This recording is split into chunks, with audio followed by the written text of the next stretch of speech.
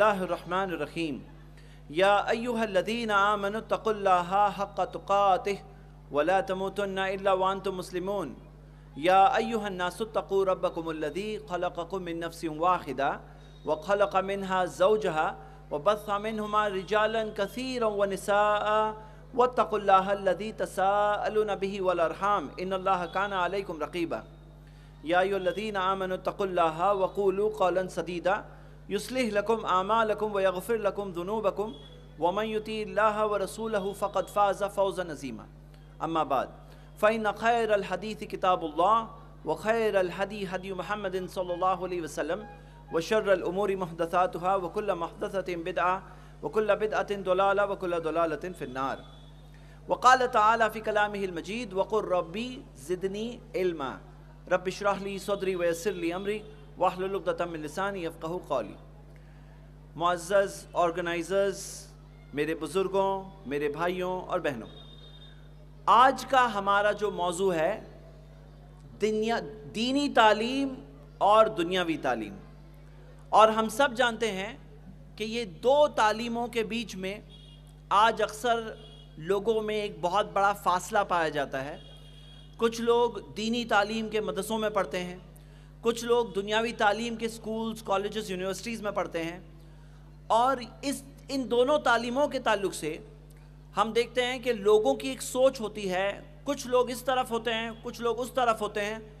आज के हम दर्स में ये दोनों तालीमत के ताल्लुक से इंशाल्लाह बात करेंगे। मेरे भाइयों, सबसे पहले हम शुरू करते हैं दीनी तालीम के मकाम के ताल्लुक से। और हम सब जानते हैं कि हमारे माशरे में, हमारी सोसाइटी में अक्सर लोग दीनी तालीम से दूर हैं। दीनी तालीम हासिल करने वाले बहुत थोड़े लोग होते हैं। पूरी सोसाइटी के थोड़े से थोड़े से हैंडफुल हाथ में गिन सकते हैं। अच्छा ये सब लोग हैं, ये दीनी तालीम हासिल करते हैं। बाकी अक्सर लोग दीनी तालीम से दूर रहते हैं और समझते हैं कि हमारे मस्जिद के इमाम साहब हासिल कर लें, हम सब के लिए काफ़ी है। हमारे एरिया के कोई हो जो आलिम साहब कर लें, वो हम सब के लिए काफ़ी है। सबको हासिल करना ज़रूरी नहीं है। तो क्या है इस बारे में हकीकत? और ऐसा क्यों होता है? हम इस चीज़ के बारे में इंशाल्लाह बात करेंगे। मेरे भाइयों और मेरी बहनें, हम सब गौर करें कि ये दुनिया की ज़िंदगी एक इम्तिहान है, टेस्ट है। ये दुनिया के बाद असल ज़िंदगी आने वाली है। वो है मरने के बाद की ज़िंदगी, क़यामत का दिन।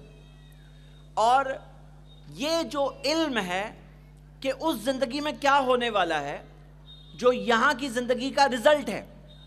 और दुनिया में हमें कैसे ज़िंदगी गुजारनी है, इस चीज़ के ताल्लुक से हमें मालूम मिलती है दीनी तालीमत में।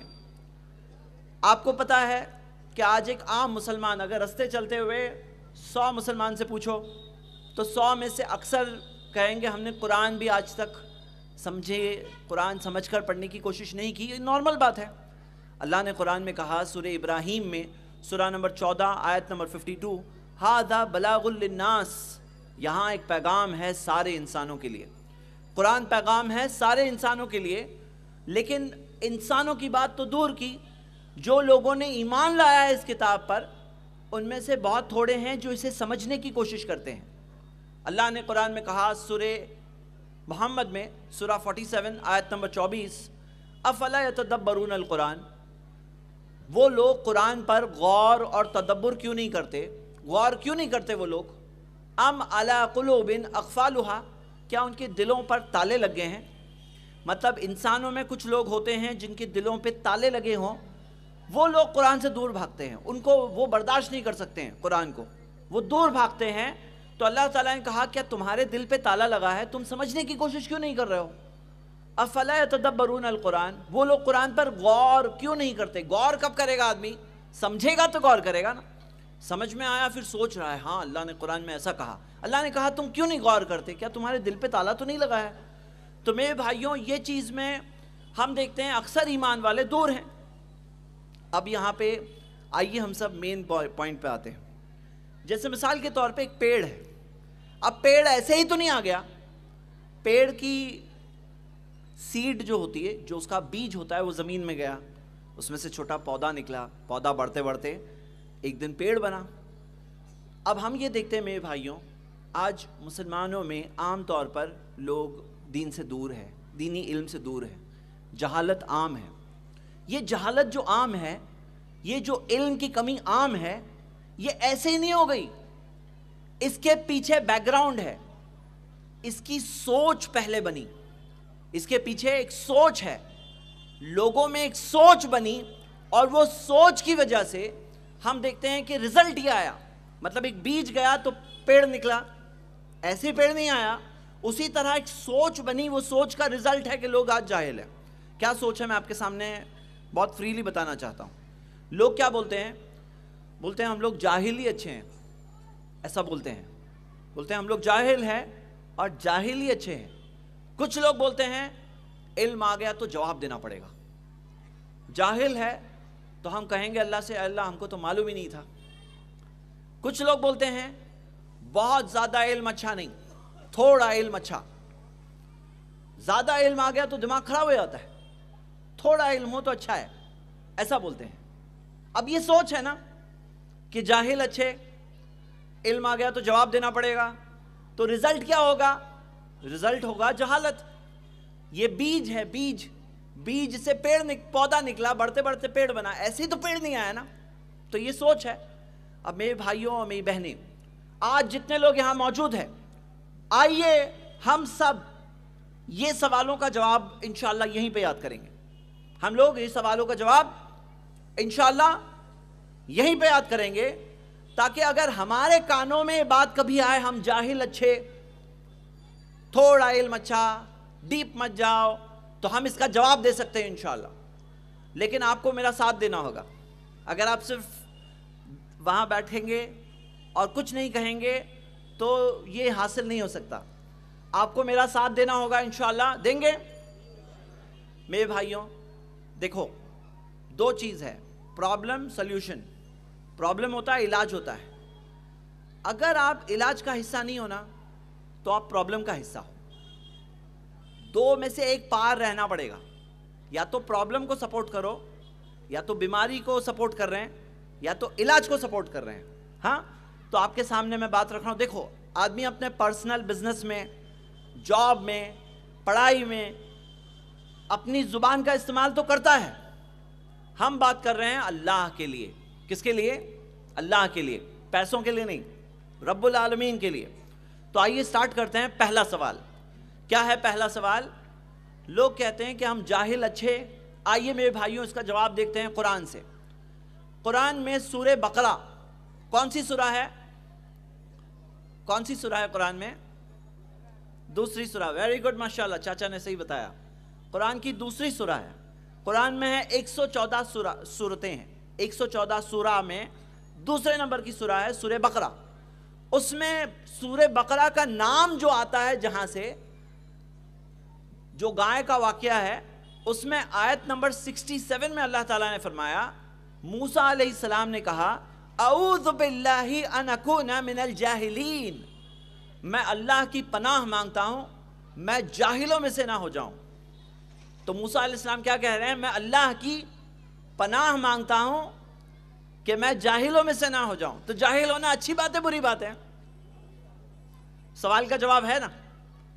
मूसा इस्लाम ने क्या कहा? चलिए साथ में दोहराएँगे, याद हो जाएगा इनशाला तो अगर आप कोई, आपको कोई कहेगा, हम लोग जाहिल अच्छे तो आप कहेंगे इनशाला जवाब। कहेंगे? इनशाला कहेंगे?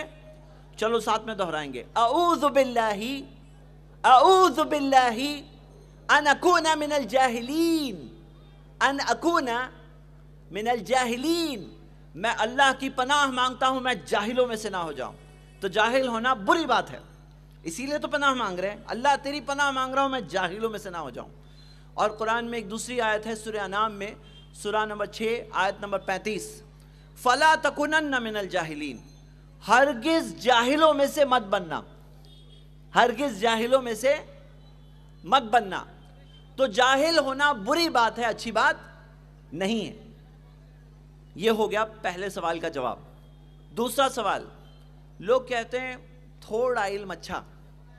बहुत ज़्यादा इल्म आ जाता है ना तो दिमाग खराब हो जाता है। क्या यह बात सही है, गलत है? गलत है, क्योंकि कुरान में इसका जवाब है, और मुझे इंशाला उम्मीद है कि आप में से अक्सर को यह आयत पहले से याद होगी। यह आयत आपको पहले से इंशाला याद होगी, जो मैं अभी पढ़ने वाला हूँ। यह सूर्य ताहा की आयत है सुरा नंबर 20 आयत नंबर 114 अल्लाह ताला ने फरमाया, वकुर रबी जिदनी इल्मा। और कहो, ए मेरे रब, मेरे इल्म में इजाफा कर, मेरे इल्म को बढ़ा दे। ज़्यादा इल्म अगर बुरी बात होती तो क्या हमें सिखाया गया होता कि अल्लाह मेरे जिद इल्मा, मेरे इल्म को बढ़ा दे अल्लाह। मुझे और इल्म दे अल्लाह। अगर ज़्यादा इल्म बुरी बात होती तो हमें क्या सिखाया गया होता? अल्लाह, थोड़ा इल्म दे, ज़्यादा मत देना। हाँ? हमें ये सिखाया गया? हमें क्या सिखाया गया? आयत फिर से पढ़ते हैं, रब्बी जिदनी इल्मा। कितने लोगों को पहले से याद है? हाथ उठाओ। माशाल्लाह, देखो मैं कहा अक्सर को पहले से याद होगा बारक अल्लाह तो अभी आप के सामने कोई कहे, थोड़ा इल्म अच्छा ज़्यादा इल्म नहीं अच्छा तो आप कहेंगे इंशाल्लाह, क्या कहेंगे? रब्बी जिदनी इल्मा ए मेरे रब, मेरे इल्म में इजाफा कर। मेरे भाइयों, सबसे पहले इस दुआ को इस उम्मत में किसने पढ़ा? किसने? नबी सल्लल्लाहु अलैहि वसल्लम जो इस उम्मत के सबसे ज़्यादा इल्म वाले हैं, वो क्या दुआ कर रहे हैं? रब्बी जिदनी इल्मा। पता चला कि अगर कोलकाता में अगर आपके पास सबसे ज़्यादा इल्म है, सबसे ज़्यादा इल्म आपके पास है तो आपको क्या दुआ करनी है? हाँ क्या दुआ करनी है? रब्बी, जितनी इल्मा ए मेरे रब, मेरे इल्म में इजाफा कर, मुझे और इल्म दे। तो ज़्यादा इल्म बुरी बात नहीं है, ज़्यादा इल्म अच्छी चीज़ है। थोड़ा इल्म बुरी बात है। ज़्यादा इल्म अच्छी चीज़ है, इस्लाम में। मेरे भाइयों, दुनिया के अंदर बहुत से तौर तरीके चलते हैं, बहुत से सिस्टम चलते हैं। किसी सिस्टम में ऐसा भी है कि हम जानते हैं कि वहाँ के बड़े बड़े छोटों से कहते हैं, डीप मत जाओ। क्योंकि कोई अगर डीप गया तो सब गड़बड़ मालूम पड़ जाएगी। तो कहते हैं कि डीप मत जाओ। इस्लाम के लिए थोड़ी सही बात है। ये तो दीन हक है। ये तो ये तो सच्चाई वाला दीन है। हमें तो सच्चाई पे चलना सिखाया गया। हमें तो ईमान सिखाया गया। हमें तो सच्चाई सिखाई गई। तो ये दीन के अंदर कायदा क्या है? कि ज़्यादा इल्म अच्छी बात है। तो मेरे भाइयों, ये पैगाम हमें पहुंचाना है। क्यों? सोच बदलेगी ना तो रिज़ल्ट बदलेगा इन सोच नहीं बदलेगी तो ऊपर से रिज़ल्ट नहीं बदलने वाला। आइए तीसरे सवाल पे बढ़, की तरफ़ बढ़ते हैं। जो लोग कहते हैं कि थोड़ा इल्म अगर हो तो अच्छा वो लोग आगे ये भी कहते हैं कि अगर ज़्यादा इल्म आ गया तो अल्लाह को जवाब देना पड़ेगा। थोड़ा इल्म है, अगर इल्म नहीं है तो हम कहेंगे, अल्लाह, मुझे तो मालूम ही नहीं था।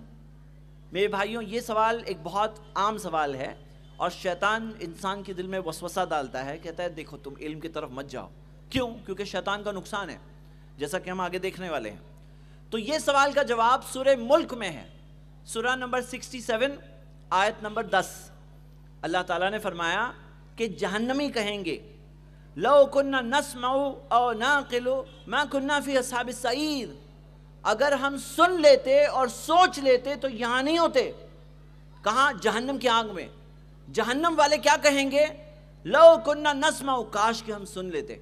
बहुत लोग होते हैं ना, सुनना ही नहीं है मुझे। सुनना ही नहीं है। और ना किलू, सोच लेते। बहुत लोग कहते सुन तो लिया, सोचूँगा नहीं मैं इस बारे में। तो जहन्नमी कहेंगे, काश के हम सुन लेते और सोच लेते तो हम ये जलती हुई आग में नहीं होते। तो मेरे भाइयों, सही बात क्या है कि वो लोग सुनते ही नहीं थे, सोचते ही नहीं थे, यानी कि इल्म नहीं हासिल करते थे। सुना ही नहीं, सोचा ही नहीं, यानी इल्म नहीं था उनके पास। बच गए। बच गए कि नहीं बचे? कहाँ है वो? जहन्नम की आग में। क्या कर रहे हैं? अफसोस कर रहे हैं। काश थोड़ा सुन लेते। जैसे मिसाल के तौर पर, दीनी इस्लामिक प्रोग्राम है। दावत पहुंचाई जाती। बोले, हमें ये सब सुनना ही नहीं है। काश के सुन लेते और सोच लेते तो हम ये जलती हुई आग में नहीं होते। तो ये हो गया तीसरा सवाल और उसका जवाब। अब आइए हम आते हैं बहुत अहम सवाल जो हमारे आज के मौजू से भी ताल्लुक़ रखता है। और वो है चौथा सवाल, आज मुसलमानों में थोड़ी बेदारी आने लगी है दुनियावी इल्म के ताल्लुक से। दुनियावी इल्म की अहमियत लोग थोड़ा बहुत पहचानने लगे हैं। और भी पहचानने की ज़रूरत है, हम उसकी बात करेंगे। तो आज ये होने लगा है, ये जो कुरान की आयत है ना, इकरा, रब्बी ज़िदनी इल्मा, ये सिर्फ़ दुनियावी तालीम के लिए इस्तेमाल की जा रही है। दुनियावी तालीम के लिए। कि जैसे मिसाल के तौर पे इमाम साहब के पास कोई वालद आए, कहा कि मेरे बच्चे का इम्तहान है, कोई दुआ सिखाओ। तो इमाम साहब ने कहा, रब्बी ज़िदनी इल्मा। तो वो उस तरह से जो उसी महदूद से दायरे के लिए मतलब सिर्फ़ दुनियावी इल्म के लिए इस्तेमाल किया जा रहा है, इकरा लिख कर कॉलेज में लगाया जाता है, इकरा, पढ़। लेकिन आगे क्या? भाई, सबसे अहम इल्म कौन सा इल्म है? सबसे अहम इल्म कौन सा इल्म है? तो हम ये देखते हैं कि इस्लाम ने हमें ये सिखाया सुनन इब्न माजा में सही सनत से हदीस है। प्यारे नबी मोहम्मद सल्लल्लाहु अलैहि वसल्लम ने फरमाया इल्म नाफियन। अल्लाह से मांगो नफ़े वाला इल्म। अल्लाह से मांगो नफ़े वाला इल्म जिसमें नफ़ा हो, जिसमें फ़ायदा हो।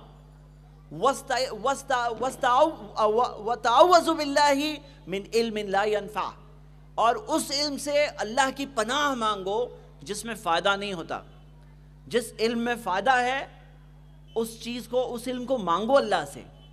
और जो इल्म से फ़ायदा नहीं होता तो अल्लाह की पनाह मांगो ऐसे इल्म से।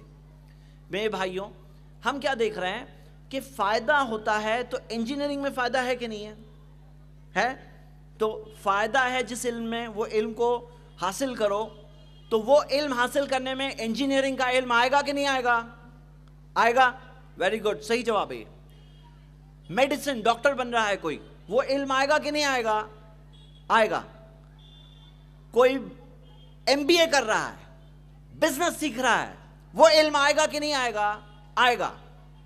कोई साइंटिस्ट बन रहा है इन्वेंशन करेगा, नई डिस्कवरी बने, करेगा, नए किस्म की मशीन्स बनाएगा, वो इल्म आएगा कि नहीं आएगा? आएगा। लेकिन सबसे ज़्यादा फ़ायदा किस इल्म में है? किसमें है, बताइए। कौन से फ़ील्ड में सबसे ज़्यादा फ़ायदा है? कौन से इल्म से सबसे ज़्यादा फ़ायदा होगा? कौन सा इल्म ज़ोर से बोलिए। कौन सा? दीन इल्म। सबसे बड़ा फ़ायदा दीन इल्म से होता है। क्यों मालूम है आपको? देखो, पढ़ाई करता है एक आदमी। पढ़ाई करते करते 22 25 साल की उम्र हो जाती है। फिर बाद जॉब, बाद में जॉब करेगा, बिज़नेस करेगा। कब तक करेगा? समझते हैं 60 साल तक, पैंसठ साल तक 70 साल तक, यानी कि 50 साल तक इस्तेमाल करेगा इल्म। 50 साल। हम 50 साल के सामने जो दीनी इल्म है, जो हमें सिखाता है कि अल्लाह कौन है, अल्लाह हमसे क्या चाहता है, हमारी ज़िंदगी का मकसद क्या है, हम यहाँ से कहाँ जाने वाले हैं, मरने के बाद क्या होगा, ये जो इल्म है, ये इल्म का फ़ायदा आखिरत की ज़िंदगी में असल फ़ायदा है और दुनिया की ज़िंदगी में भी फ़ायदा है। ये पचास साल, ये ज़िंदगी के पचास, साठ, सत्तर जो भी साल है, इसमें भी फ़ायदा है, लेकिन असल फ़ायदा आखिरत का फ़ायदा है। और कितना बड़ा फ़ायदा? पचास साल की दुनिया की ज़िंदगी का फ़ायदा है, दीनी दुनियावी इल्म का। दीनी इल्म का फ़ायदा पचास के सामने, पाँच सौ साल नहीं। पाँच हज़ार साल, आखिरत की पाँच हज़ार साल की ज़िंदगी है, नहीं। पचास हज़ार साल की ज़िंदगी है, नहीं। पाँच लाख साल की ज़िंदगी है, पचास लाख साल की ज़िंदगी है, पाँच करोड़ साल की ज़िंदगी है, पचास करोड़ साल की ज़िंदगी है, हमेशा हमेशा की ज़िंदगी। और वो ज़िंदगी का फ़ायदा, नुकसान ये दीन के इल्म से कनेक्ट होता है। पता है आपको क्यों? आज आपको पता है मेरे भाई, कितने सारे लोग अल्लाह को खुश करने के लिए शिरक करते हैं। क्यों? मालूम नहीं है। कितने सारे लोग नबी सल्लल्लाहु अलैहि वसल्लम की मोहब्बत में दीन में बिदात करते हैं, दीन में नई नई चीज़ें करते हैं। क्यों? उनको पता नहीं है कि कल नबी सल्लल्लाहु अलैहि वसल्लम नाराज़ होने वाले हैं। सही बुखारी में हदीस हौज है, जिसमें आता है कि नबी सल्लल्लाहु अलैहि वसल्लम नाराज़ होकर क़यामत के दिन कहेंगे, सुहकन सुहकन लिमन गैर आबादी दूर हो जाओ, दूर हो जाओ ए वो लोगों जिन्होंने मेरे बाद दीन में नई चीज़ें लाई। तुमने दीन में नई चीज़ें लाई, तुम जाओ यहाँ से। झिड़क करके उनको हौज कौसर से भगा दिया जाएगा, जाम कौसर पीने से महरूम हो जाएँगे, प्यासे के प्यासे रह जाएँगे, नबी सल्लल्लाहु अलैहि वसल्लम नाराज़ होंगे उनके ताल्लुक से। तो हम देखते हैं, काश के लोगों को पता होता। कितने सारे लोग हैं सूद का काम करते हैं, उनको मालूम भी नहीं वो सूद का काम करते हैं। क्योंकि आज सूद जो है, नाम बदल करके आता है, फेस बदल करके आता है। उसको पहचानने के लिए सूद कहते किसे हैं, उसको पहचानना होगा। आज हम देखते हैं कि कितने सारे लोग हराम काम करते हैं, उनको पता भी नहीं होता है कि मैं हराम कर रहा हूँ, गलत कर रहा हूँ, उनको मालूम भी नहीं होता क्यों? इल्म नहीं है, मालूम नहीं है। बिज़नेस कर रहा है आदमी लेकिन बिज़नेस सही कैसे होता है, गलत कैसे होता है, हलाल कैसे होता है, हराम कैसे होता है, मालूम होना चाहिए? नहीं मालूम है। दिन में नमाज़ पाँच बार पढ़ रहे हैं, लेकिन नमाज़ कैसे पढ़ना है? अगर काश के एक बार इल्म हासिल कर लेते कि नमाज़ कैसे पढ़ना है, जैसे नबी सल्लल्लाहु अलैहि वसल्लम ने फरमाया, सही बुखारी की हदीस है, सल्लु कमा है तुमो नहीं उसली उस तरह नमाज़ पढ़ो, जिस तरह तुमने मुझे नमाज़ पढ़ते देखा है। एक बार सीख लिए, एक बार। अगर एक गलती सुधार लिए हर रकात में सुधार लिए। एक गलती अगर सुधारे, सिर्फ़ एक। हर रकात में सुधरी, हर नमाज़ में सुधरी। क़यामत के दिन अल्लाह के सामने जब खड़े होंगे तो तराजू में कितना बड़ा फ़र्क आ गया ना, अगर एक गलती सुधारे तो। है ना? लेकिन आदमी का नुकसान हो रहा है, उसको मालूम भी नहीं है। मेरे भाइयों, क्यों हो रहा है? इल्म नहीं है। इल्म से क्या होता है? मालूम पड़ता है। अब जैसे मिसाल के तौर पे, मान लीजिए कोई कोलकाता से कहीं जा रहा है। अब जाने के लिए सिर्फ़ जज्बा काफ़ी नहीं है। गाड़ी में फ्यूल है, पेट्रोल भरा हुआ है, सिर्फ़ वो काफ़ी नहीं है। डायरेक्शन भी तो मालूम होना चाहिए कि जहाँ जा रहे हैं उसका रोड मैप क्या है, वहाँ रास्ता कौन सा है, कौन सा रास्ता आ जाएगा। अब फ्यूल तो बहुत भरा भरा हुआ है, गाड़ी में पेट्रोल भरा हुआ है, लेकिन ड्राइवर को रास्ता ही नहीं मालूम है। तो जितनी भी स्पीड में चलाएगा, वो कहाँ जाएगा, कोई गारंटी नहीं है। सवाल क्या है मेरे भाइयों? ऐसा ही हो रहा है आज। आपको पता है क्या होता है? लोग हज करने जाते हैं ना बहुत जज्बा आ जाता है दिल में। हज करने गए ना, इबादत करने गए हैं। फिर क्या होता है? कोई वहाँ जाकर कहीं पे भी जाके मिट्टी लेके जेब में भर देते हैं। मिट्टी कहीं पे भी जाते हैं, मिट्टी उठाते हैं, पब्लिक को वहाँ की पुलिस को रोकना पड़ता है। अरे, मिट्टी क्यों उठा रहे हो यहाँ की? ऐसी ऐसी जगह है जहाँ मिट्टी लोग उठा उठा के खाली करना चाहते हैं। मिट्टी लेके जेब में डाल देते हैं। कुछ भी मिला, चूमना शुरू कर देते हैं। यहाँ तक का कि लोग बिजली के खंभे भी चूमते हुए मिलते हैं। मालूम है आपको? वीडियो रिकॉर्डिंग से कि बिजली के खंभों को चूम रहे हैं। क्यों? क्योंकि मालूम नहीं है इल्म नहीं है। तो मेरे भाइयों क्या होता है ना? इल्म आ जाए ना तो आदमी को पता चलता है क्या करना है। किसी का घर में इंतकाल हुआ घर में इंतकाल हुआ तो कॉमन बात है इतनी सारी बिदात लोग करते हैं इतनी सारी दीन में नई चीज़ें करते हैं क्योंकि दिल में नर, नरमी आ जाती है ना किसी का इंतकाल हुआ है अब मैं क्या कर रहा हूँ? अब आदमी को जज्बा है पेट्रोल है लेकिन डायरेक्शन नहीं है तो क्या होगा? अब वो गया, अब वो क्या करेगा? क्योंकि उसको इल्म ही नहीं है मेरे भाइयों, उसको मालूम नहीं है। क्या ये नया मसला है? ये नया मसला है, आज 1400 साल बाद आज लोगों का इंतकाल होने लगा है, जैसे एरोप्लेन नया मसला है एरोप्लेन का। क्या ये नया मसला है कि आज इंतकाल हुआ या 1400 साल पहले भी इंतकाल होता था? नया मसला है, पुराना मसला है। था ना नबी सल्लल्लाहु अलैहि वसल्लम के ज़माने में। वो लोगों ने क्या किए? क्या हम लोग वो नहीं देख सकते? हैं क्या सिर्फ़ कलमा पढ़ेंगे? ला मोहम्मद रसुल्ला ये ये भी देखेंगे। वो लोगों ने क्या किया? वही करेंगे हम। लेकिन कैसे करेंगे? अगर इल्म ही नहीं है तो। मालूम होगा तो करेंगे ना। मालूम ही नहीं है तो क्या करेंगे? मेरे भाइयों, ये बेसिस है बुनियाद है बुनियाद। हम लोग कोई माशरे को नहीं सुधार सकते जब तक पहली वही इकरा, उस पर अमल ना करें। और इकरा खाली इकरा नहीं है, इकरा बिस्मी रबी का लदी खलक। पढ़ अपने रब के नाम से। पढ़ रहे हैं आज लोग, रब को भूल के पढ़ रहे हैं। पढ़ रहे हैं। अल्लाह को भूल के पढ़ रहे हैं। तो सिगरेट बनाए। अल्लाह को भूल के पढ़े तो एथियस बन गए, दहरी बन गए। अल्लाह का नौजुबिल्ला इनकार करते हैं क्योंकि अकल पे ताले लग गए। जो इंटेलेक्चुअल होने का दावा करते हैं, वो अंधविश्वास में हो जाते हैं। कैसे? क्योंकि अकल कहाँ गई तुम्हारी? हम लोग क्या खुद से आ गए? अच्छा ये माइक ये खुद से आया? ये कारपेट आप देख रहे हैं? खुद से आ गया क्या? ये टेबल यहाँ, ये ये स्टेज यहाँ खुद से आ गया? ये टेबल खुद से आ गया? ये बॉटल यहाँ खुद से आ गई? नहीं। किसी ने रखा तो आया ना? क्या मानते हो भाई?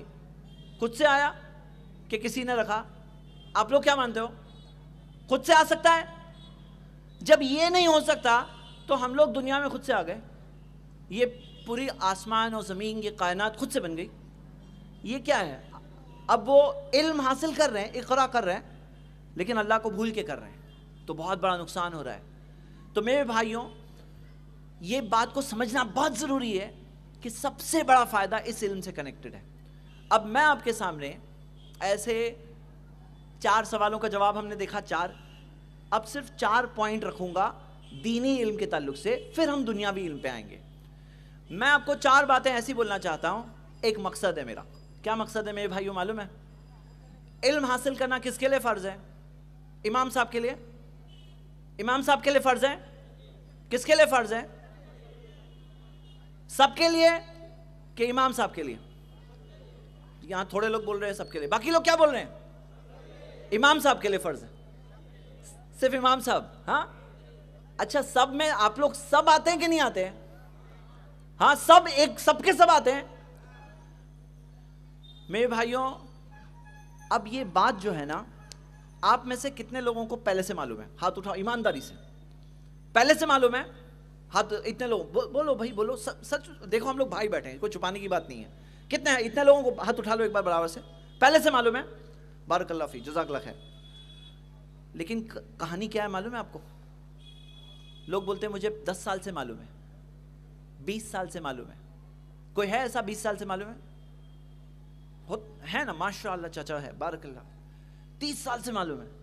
लेकिन कितने लोगों की कहानी ये है कि उसके बाद कुछ किए ही नहीं।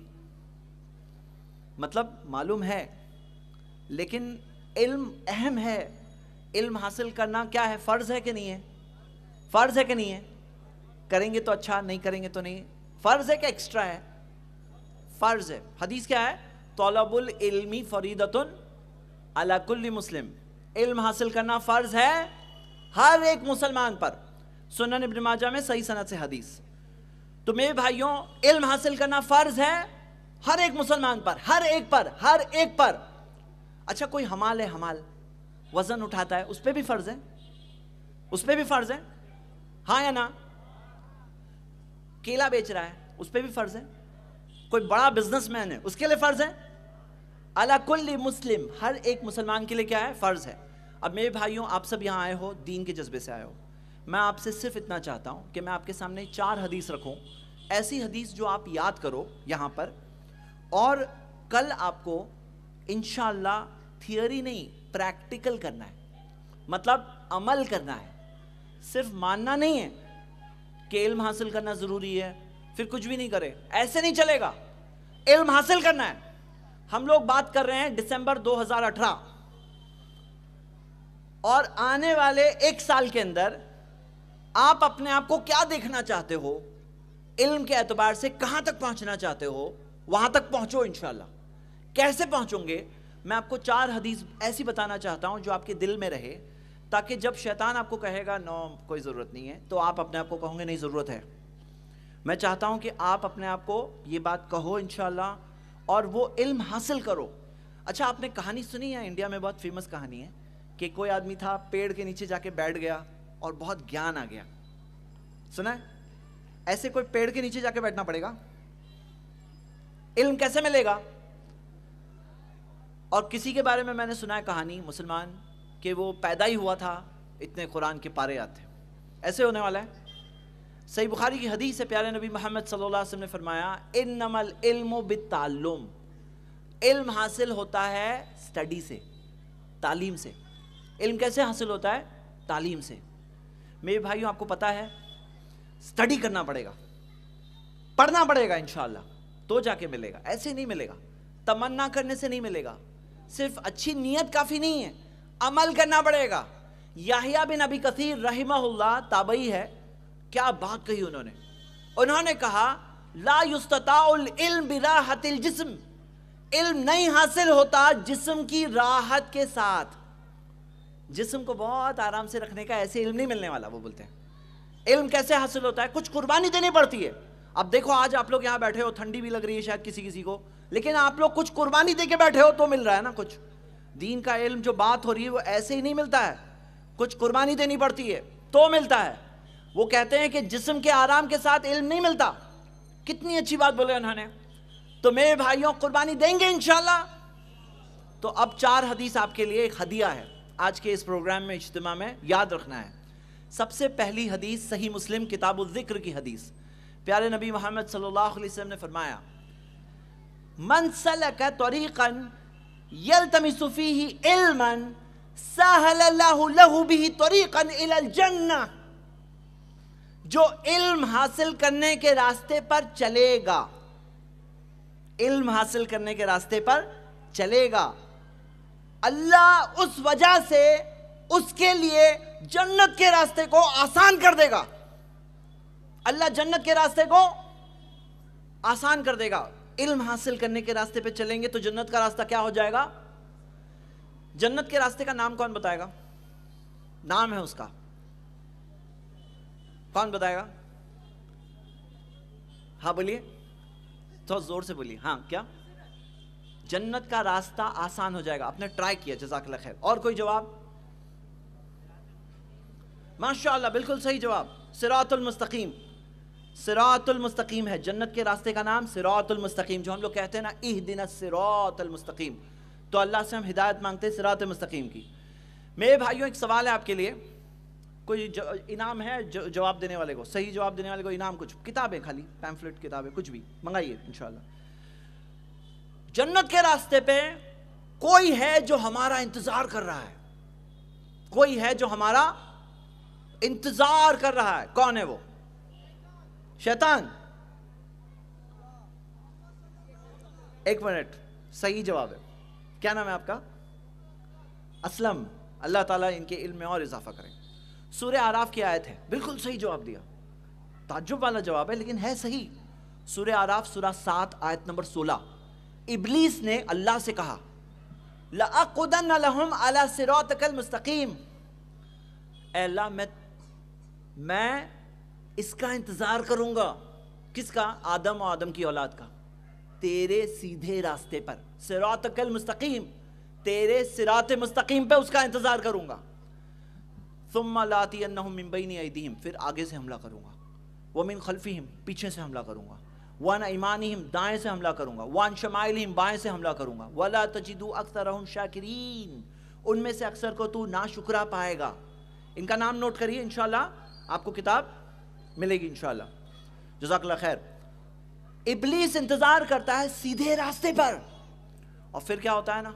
आगे, पीछे, दाएँ, बाएँ, सब तरफ़ से हमला करता है। इसीलिए लोग बोलते हैं बहुत मुश्किल है। बहुत मुश्किल। कितने लोगों को जन्नत का रास्ता मालूम है? लेकिन बोलते हैं बहुत मुश्किल लगता है। सुबह में फजर के लिए उठना हाँ? हलाल रोज़ी सिर्फ़ कमाना, आँखों की हिफाजत करना, सब मुश्किल लगता है लोगों को। लेकिन ये चीज़ आसान हो जाएगी। किसके लिए? ये रास्ता आसान हो जाएगा। किसके लिए? किसके लिए? जो इल्म के रास्ते पर चलता है, उसके लिए जन्नत का रास्ता करोड़पति के लिए आसान होगा? किसके लिए आसान होगा? बोलिए। करोड़पति लोगों के लिए आसान हो जाएगा जन्नत का रास्ता। किसके लिए?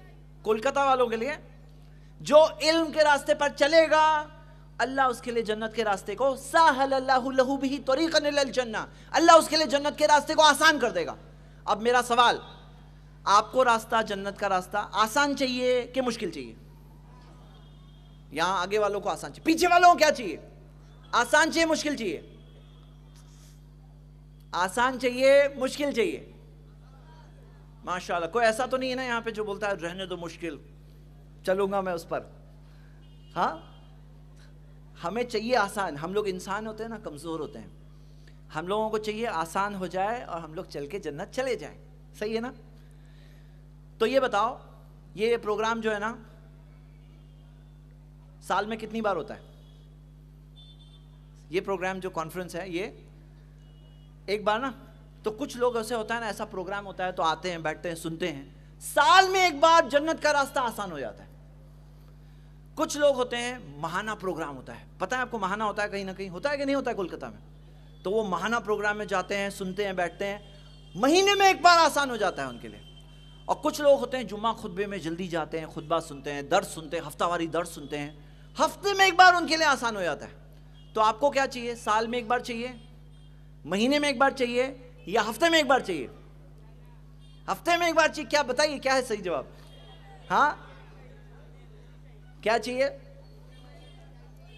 माशाल्लाह, चाचा ने बिल्कुल सही जवाब दिया। रोज़ाना आसान चाहिए। सही बोल रहे हैं आप? रोज। तो क्या करना पड़ेगा? क्या करना पड़ेगा बताइए? रोज इल्म हासिल करना पड़ेगा। चाचा का नाम भी नोट करिए। क्या नाम है आपका चाचा? फिरोज आलम खान, मोहम्मद फिरोज आलम खान चाचा का नाम नोट करिए, उनका भी इंशाल्लाह इनाम ज़रूर मिलना चाहिए। ये सब इनके ऊपर है। ठीक है, मेरे ऊपर नहीं है। जजाकला खैर। तो हम ये देखते हैं कि रोज चाहिए कि नहीं चाहिए? क्या है जवाब? रोज चाहिए कि नहीं चाहिए? रोज जन्नत का रास्ता आसान चाहिए? रोज दिल में जज्बा चाहिए? रोज इजी चाहिए रास्ता जन्नत का हाँ? तो रोज इल्म हासिल करना पड़ेगा। थोड़ा भी, लेकिन रोज। मेरे भाइयों, एक दिन नहीं गुजरना चाहिए। बहनों, आप भी सुनो, सबके लिए। अला कुल्ली मुस्लिम में सब है। रोज कुछ तो सीख के सोने का इंशाला थोड़ा भी, लेकिन सीख के सोएँगे। इंशाला जन्नत का रास्ता आसान चाहिए इंशाला रोज आसान चाहिए। और आप देखोगे बड़े बड़े उल्मा बड़े बड़े उल्मा, लेकिन मरते दम तक तोलब इल्म होते हैं। बड़े बड़े स्कॉलर्स आप देखो, मैं मिसाल देता हूँ, इमाम खतीब बगदादी रही इतने बड़े स्कॉलर कई किताबें लिखी। उनकी एक किताब है तारीख अल बगदाद, जो रिजाल की किताब है 26 जिल्दों में 26 लेकिन उनका इंतकाल हुआ ना तो सीने पे किताब पड़ी हुई मिली थी। पढ़ते पढ़ते इंतकाल हो गया। हाँ? तो हर दिन करना है। कब तक? कितने साल के लिए? कितने साल के लिए? हाँ? जब तक जान है, तब तक इंशाल्लाह। जन्नत का रास्ता आसान चाहिए। शैतान के प्लान फेल हो जाते हैं। शैतान के प्लान कैसे फेल होते हैं मालूम है? क्योंकि शैतान की हथकंडे मालूम पड़ते हैं। शैतान कैसा धोखा देता है? अब देखो, मिसाल देता हूँ। कितने सारे घरों की मिसाल है। घर में छोटा सा जिन जादू का प्रॉब्लम हो गया। कुछ प्रॉब्लम हुआ? डायरेक्ट जाके शिरक करने लगते हैं घर वाले शैतान को भी खुश करो, अल्लाह को भी खुश करो। कहीं से भी ठीक हो जाऊँ मैं। हाँ? हालाँकि मालूम है आपको? अच्छा इंसान ऊँचे हैं कि जिन ऊँचे होते हैं? हाँ? कुछ लोग सही जवाब दे रहे हैं, माशाल्लाह। बिल्कुल सही जवाब। किसे सजदा करने कहा गया था? आदम को कहा गया था, सजदा करो। इबलीस के आगे? या इबलीस को कहा गया था, आदम के आगे सजदा करो? क्या साबित करने के लिए? क्या साबित करने के लिए? तखलीक के एतबार से अल्लाह ताला ने फरमाया, अल्लाह ताला ने क्या फरमाया? बताइए, कौन बताएगा कुरान की आयत? इंसान ऊँचा है, कौन सी आयत से पता चलता है? कौन कह रहा है? बताइए। बताइए और बताइए मिसाल, इंसान के मकाम के ताल्लुक से कौन सी आयत है? पढ़िए ज़ोर से। ओके, चलिए और बताइए। अल्लाह ताला ने क्या फरमाया? लक़द खलकनल इंसाना फ़ी आहसनी तकवीम। हमने इंसान को बनाया बेहतरीन ढांचे में, जिन को बनाया नहीं दिया है। इंसान तख्लीक के अतबार से जिनों से ऊँचे है, लेकिन वो लोग खाली दिखते नहीं हैं तो लोग बहुत कुछ सोच बैठते हैं। अब ये चीज़ के ताल्लुक से ये टॉपिक नहीं है हमारा आज का, कभी और इंशाल्लाह। लेकिन सही बात यह है कि इल्म नहीं है, इसीलिए घुटने टेक देता है इंसान जिनों के आगे। सजदा कर देता है जिनों के आगे। उनको अपना रब बना देता है, अल्लाह के साथ शरीक कर देता है, क्योंकि उसके पास इल्म नहीं है। सिर्फ़ मालूम होती ना तो मालूम होता। मालूम है जैसे मिसाल के तौर पे, अगर कॉकरोच आपके सामने आ गया तो आप क्या करोगे? जान बचा के भागोगे? या बोलोगे, कॉकरोच है। क्योंकि आप उसको देख सकते हो। जिनको नहीं देख सकते तो सोच बैठते हैं बहुत कुछ। लेकिन कुरान हदीस में दिया है शैतान के हथकंडे। जिनों में मोमिन जिन भी है, काफिर जिन भी है। लेकिन वो बात को समझना बहुत ज़रूरी है कि शैतान के प्लान को कैसे फेल करें। तो मेरे भाइयों, ये हो गई पहली हदीस। याद रहेगी, जन्नत का रास्ता आसान होता है। किसके लिए? करोड़पति के लिए। किसके लिए? इल्म के रास्ते पर चलने वाले के लिए। इंशाल्लाह चलेंगे। ये बात याद रखेंगे। सेकंड ये दूसरी हदीस इमाम इब्न अब्दुल बर ने अपनी किताब जाम बयानुल इल्म में बयान किया है। और इस हदीस में आता है कि प्यारे नबी मोहम्मद सल्लल्लाहु अलैहि वसल्लम ने फरमाया, ये हदीस की तहकीक सही जाम हदीस नंबर तीन हज़ार नौ सौ तेरह और चौदह में है। नबी सल्लल्लाहु अलैहि वसल्लम ने फरमाया तलबुलमी फ़रीदतन अला कुल्ली मुस्लिम, इल्म हासिल करना फ़र्ज़ है हर मुसलमान पर। आगे का हिस्सा सुनिए। व इन ना तोलिबल इल्मी यकीन तोलब इल्म के लिए, यस्तगफिर लहू कुल्लु शयिन हतल हितान फिल बहर। तोलब इल्म के लिए जो इल्म हासिल करने की कोशिश करता है, जो उसकी तलब में रहता है, उसके लिए सारी मखलूक मगफिरत की दुआ करती है। मगफिरत की दुआ का मतलब अल्लाह, इसे माफ़ कर दे अल्लाह, इसे माफ़ कर दे। कुल्लु शयिन सारी चीज़ें हतल हितान फिल बहर, यहाँ तक का के समंदर के अंदर की जो मछली है, वो भी दुआ करती है। किसके लिए? तोलब इल्म के लिए। हमारे इंडिया में एक रिवाज है जब लोग अलग होते हैं ना, बोलते हैं, दुआ में याद रखना। देखा है आपने? पता नहीं कितने लोग दुआ में याद रखते हैं। हाँ? क्या लगता है? कितने परसेंट होंगे? सौ टका में से कितने लोग दुआ में याद रखते होंगे? पता नहीं। लेकिन सारी मखलूक मगफिरत की दुआ करती है किसके लिए? तोलब इल्म के लिए। मेरे भाइयों, हम सब इंसान है ना, हमसे गलतियाँ होती है। मुस्द अहमद की सही हदीस है कुल्लुबनी आदम खत्ता सारे आदम के औलाद से ख़ताएँ होती हैं। व खैरख़ताइन तवाबून ख़ता करने वालों में, गलती करने वालों में सबसे अच्छे वो लोग होते हैं जो बार बार तौबा करते हैं। आज कितने लोग गुनाहों के चिंगुल में फंस जाते हैं, गुनाहों के दलदल में फंस जाते हैं, क्यों मालूम है? क्योंकि तौबा कैसे करते हैं उनको मालूम ही नहीं है। हमारे यहाँ कंसेप्ट चलता है, तौबा तौबा, ऐसे गलती, ऐसे तौबा करते हैं। उनको मालूम ही तौबा बोलते किसको है? हाँ? तौबा किसको बोलते हैं? मालूम है आपको?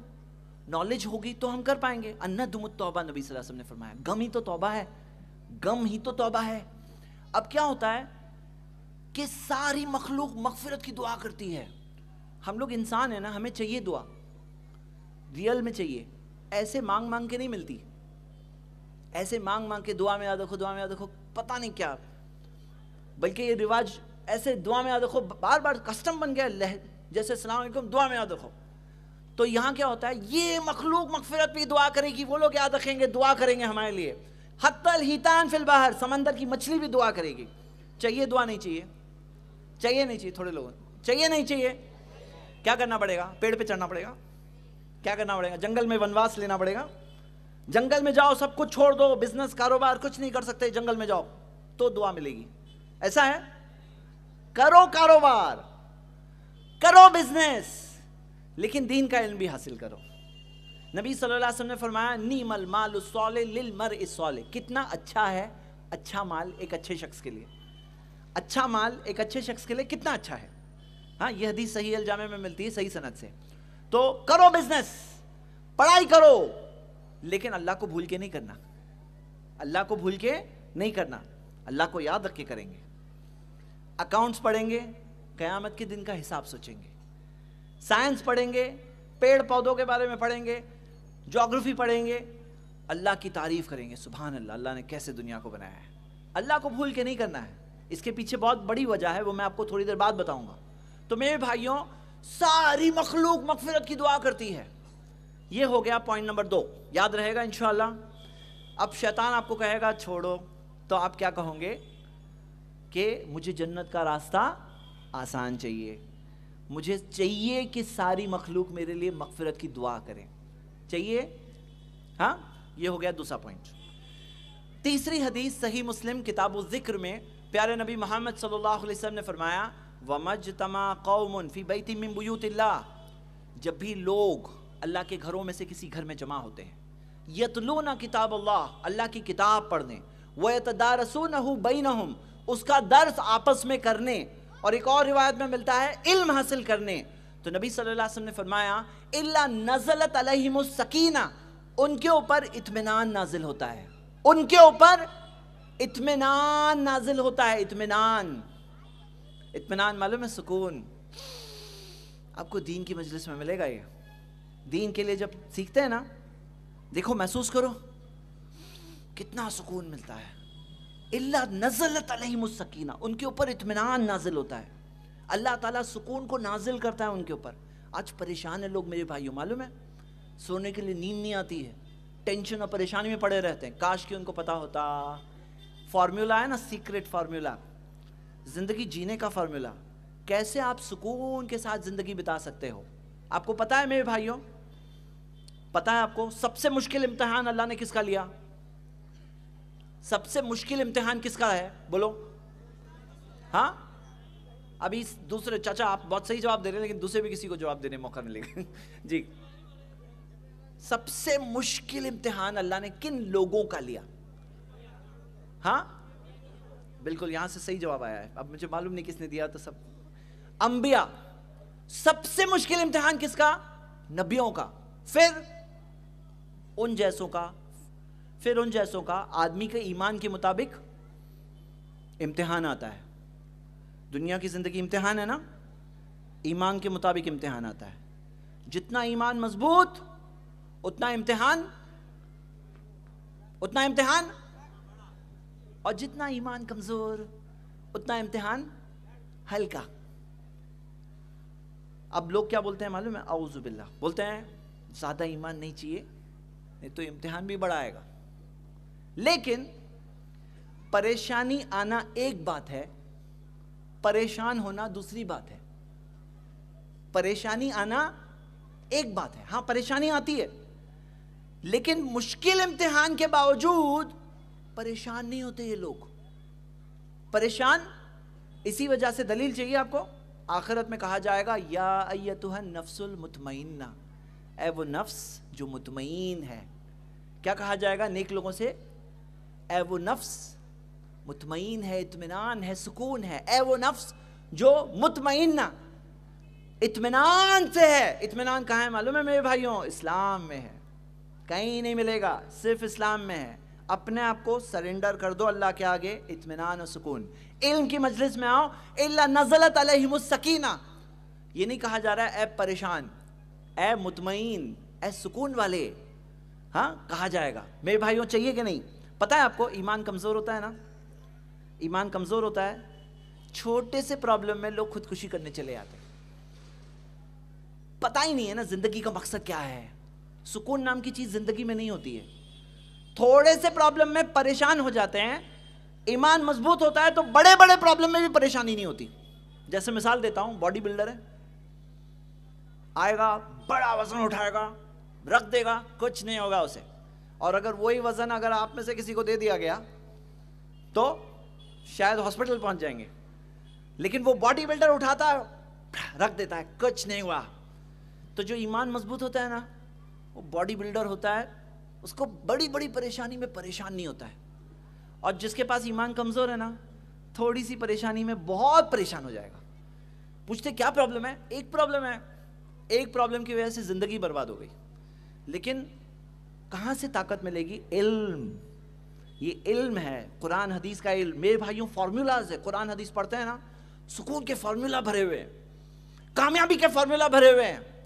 तो हम लोग आगे बढ़ते हैं। इल्ला नजलत अलैहिमुस्सकीना इत्मीनान नाजिल होता है। वह गशियत रहमा, अल्लाह की रहमत ढांप लेती है। अल्लाह की रहमत चाहिए कि नहीं चाहिए? ये कारपेट है देखो ज़मीन के ऊपर कवर किया है ना? अल्लाह की रहमत इतनी आती है कि ढांप लेती है, ढांप लेती है। वह हफतमुल मलाइका, फरिश्ते घेर लेते हैं। फरिश्ते हैं ना? क्या करते हैं? जहाँ पे दीन, कुरान, हदीस, इल्म की बात हो रही है, कुरान और सही हदीस के। तो फरिश्ते क्या करते हैं? हफतुमल मलाइका, एक और हदीस में आता है, एक के ऊपर एक, इला समाई दुनिया दुनिया के आसमान तक, इतने सारे फरिश्ते। क्यों मालूम है आपको? इतना अच्छा काम कर रहे हैं लोग। दीन सीखने के लिए आए इतना अच्छा काम कर रहे हैं। फरिश्ते क्या कर लेते हैं? घेर लेते हैं। मैं बॉम्बे से आया हूँ आपको पता होगा, बॉम्बे में ये फ़िल्म इंडस्ट्री है, कोई फ़िल्म स्टार अगर रास्ते पे कहीं चलता है ना तो पब्लिक घेर के खड़े होती है। फरिश्ते फ़िल्म स्टार को नहीं घेरते, फरिश्ते दीन की मजलिस को घेरते हैं। कुरान, हदीस की बात जहाँ होती, वहाँ पे घेरते हैं। हाँ? हफ़तमुल मलाइका, व ज़कर इंदा। अल्लाह उनका बयान करता है, उनके पास जो अल्लाह के करीब है। अल्लाह के करीब जो फरिश्ते हैं ना, अल्लाह उनके पास बयान करता है। किसका? किसका? जो इल्म सीखने आए ना, सीखने सिखाने आए हैं ना, उनका अल्लाह ज़िक्र करता है। क्या नाम है आपका? जी। हाँ हाँ आप, क्या नाम है आपका? ज़ोर से बोलो। ऐनुद्दीन भाई। ऐनुद्दीन भाई, आप सर हिला रहे थे अभी, माशाल्लाह। क्या आपको पता है, आपका भी ज़िक्र अल्लाह ने किया है इस हदीस के मुताबिक? कि ऐनुद्दीन को देखो। जकरहुमुल्ला रब्बुल आलमीन। इंडिया के प्राइम मिनिस्टर की बात नहीं कर रहे हैं कि वो नाम लेगा एनुद्दीन का। हाँ? हम बात कर रहे हैं रब्बुल आलमीन की। वो ज़िक्र करता है, हदीस में है। नीयत खालिस हो तो अल्लाह की तरफ़ से अल्लाह ज़िक्र करता है। हाँ? वो जकरहुमुल्ला फीमन अल्लाह उनका बयान करता है फरिश्तों के पास कि देखो मेरे बंदों को देखो। देखो ये बंदे को देखो। सुबह अल्लाह, कितनी बड़ी चीज़ है। इतने ऊपर तक कि हमारा में ज़िक्र आ जाए, इतने बड़ा काम है मेरे भाइयों। तो ये हो गई तीसरी हदीस, तीन हदीस हुई। पहली हदीस में क्या था? जन्नत का रास्ता याद रहेगा? मैंने कहा याद करने के लिए ये। हाँ इंशाल्लाह। सेकंड हदीस में क्या है? सारी मखलूक, मगफिरत की। दुआ में याद रखने वाला नहीं, पक्का। हंड्रेड परसेंट गारंटी दुआ करते हैं वो लोग। नंबर तीन, इल्म की मजलिस में आते हैं तो क्या होता है? सुकून, है ना? और अल्लाह की रहमत ढांप लेती है। फरिश्ते घेर लेते हैं। अल्लाह उनका बयान करता है, उनके पास जो अल्लाह के करीब है। आप में से किसी को भी मैं पूछूँगा ये, सबको बताना है इनशाला क्योंकि फ़ायदा आपका ही है मेरे भाई। मेरा नहीं है, मैं आपको क्या लेके जाऊँगा? आपका फ़ायदा है, क्योंकि कल जंग आपको लड़नी है। मालूम पड़ा, एक साल बाद, दिसंबर 2019 में भी कुछ नहीं हुआ। कुछ नहीं सीखे। इल्म हासिल करना फ़र्ज़ है, बोलते हैं, लेकिन कुछ करते ही नहीं है। ऐसे थोड़ी इल्म मिलता है। सिर्फ़ तमन्ना से होता है कुछ काम, या कुछ करना भी पड़ेगा। हाँ? तो ये हो गई तीन हदीस। चौथी हदीस सही बुखारी की हदीस, किताबुल इल्म में। प्यारे नबी मोहम्मद सल्लल्लाहु अलैहि वसल्लम ने फरमाया मयूरिदिल्लाहु बिही खैरन अल्लाह जिसके लिए खैर का इरादा करता है, अच्छे का इरादा करता है यु फ़कीफ़ुद्दीन अल्लाह उसे दीन की समझ देता है। अल्लाह खैर का इरादा करता है तो क्या करता है? गाड़ी देता है। करोड़पति बनाता है। लोग तो यही समझते हैं इनको अल्लाह ने कितना खैर दिया। देखो, कितना अच्छी गाड़ी दी। अल्लाह ने कितना अच्छा बंगला दिया, खैर दिया। अल्लाह ने एमपी बना दिया। अल्लाह ताला ने इज़्ज़त दी, खैर दिया। लेकिन अल्लाह के रसूल सल्लल्लाहु अलैहि वसल्लम ने क्या फरमाया? अल्लाह जिसके लिए खैर का इरादा करता है, जो असल खैर है, जो रियल खैर है, वो है क्या? यु फ़िद्दीन दीन। दीन की समझ देता है। अल्लाह ताला दीन की समझ देता है। दीन की समझ क्या है मेरे भाइयों? असल खैर है रियल खैर है। तो अपने लिए खैर चाहिए कि नहीं चाहिए? देखो, इंसान को क्या है ना, जो चाहिए वही मिलता है। लई सल इंसान इल्ला मा सा अल्लाह ने कहा कुरान में, इंसान को नहीं मिलेगा सिवाय वो जिस चीज़ की वो खुद कोशिश करेगा।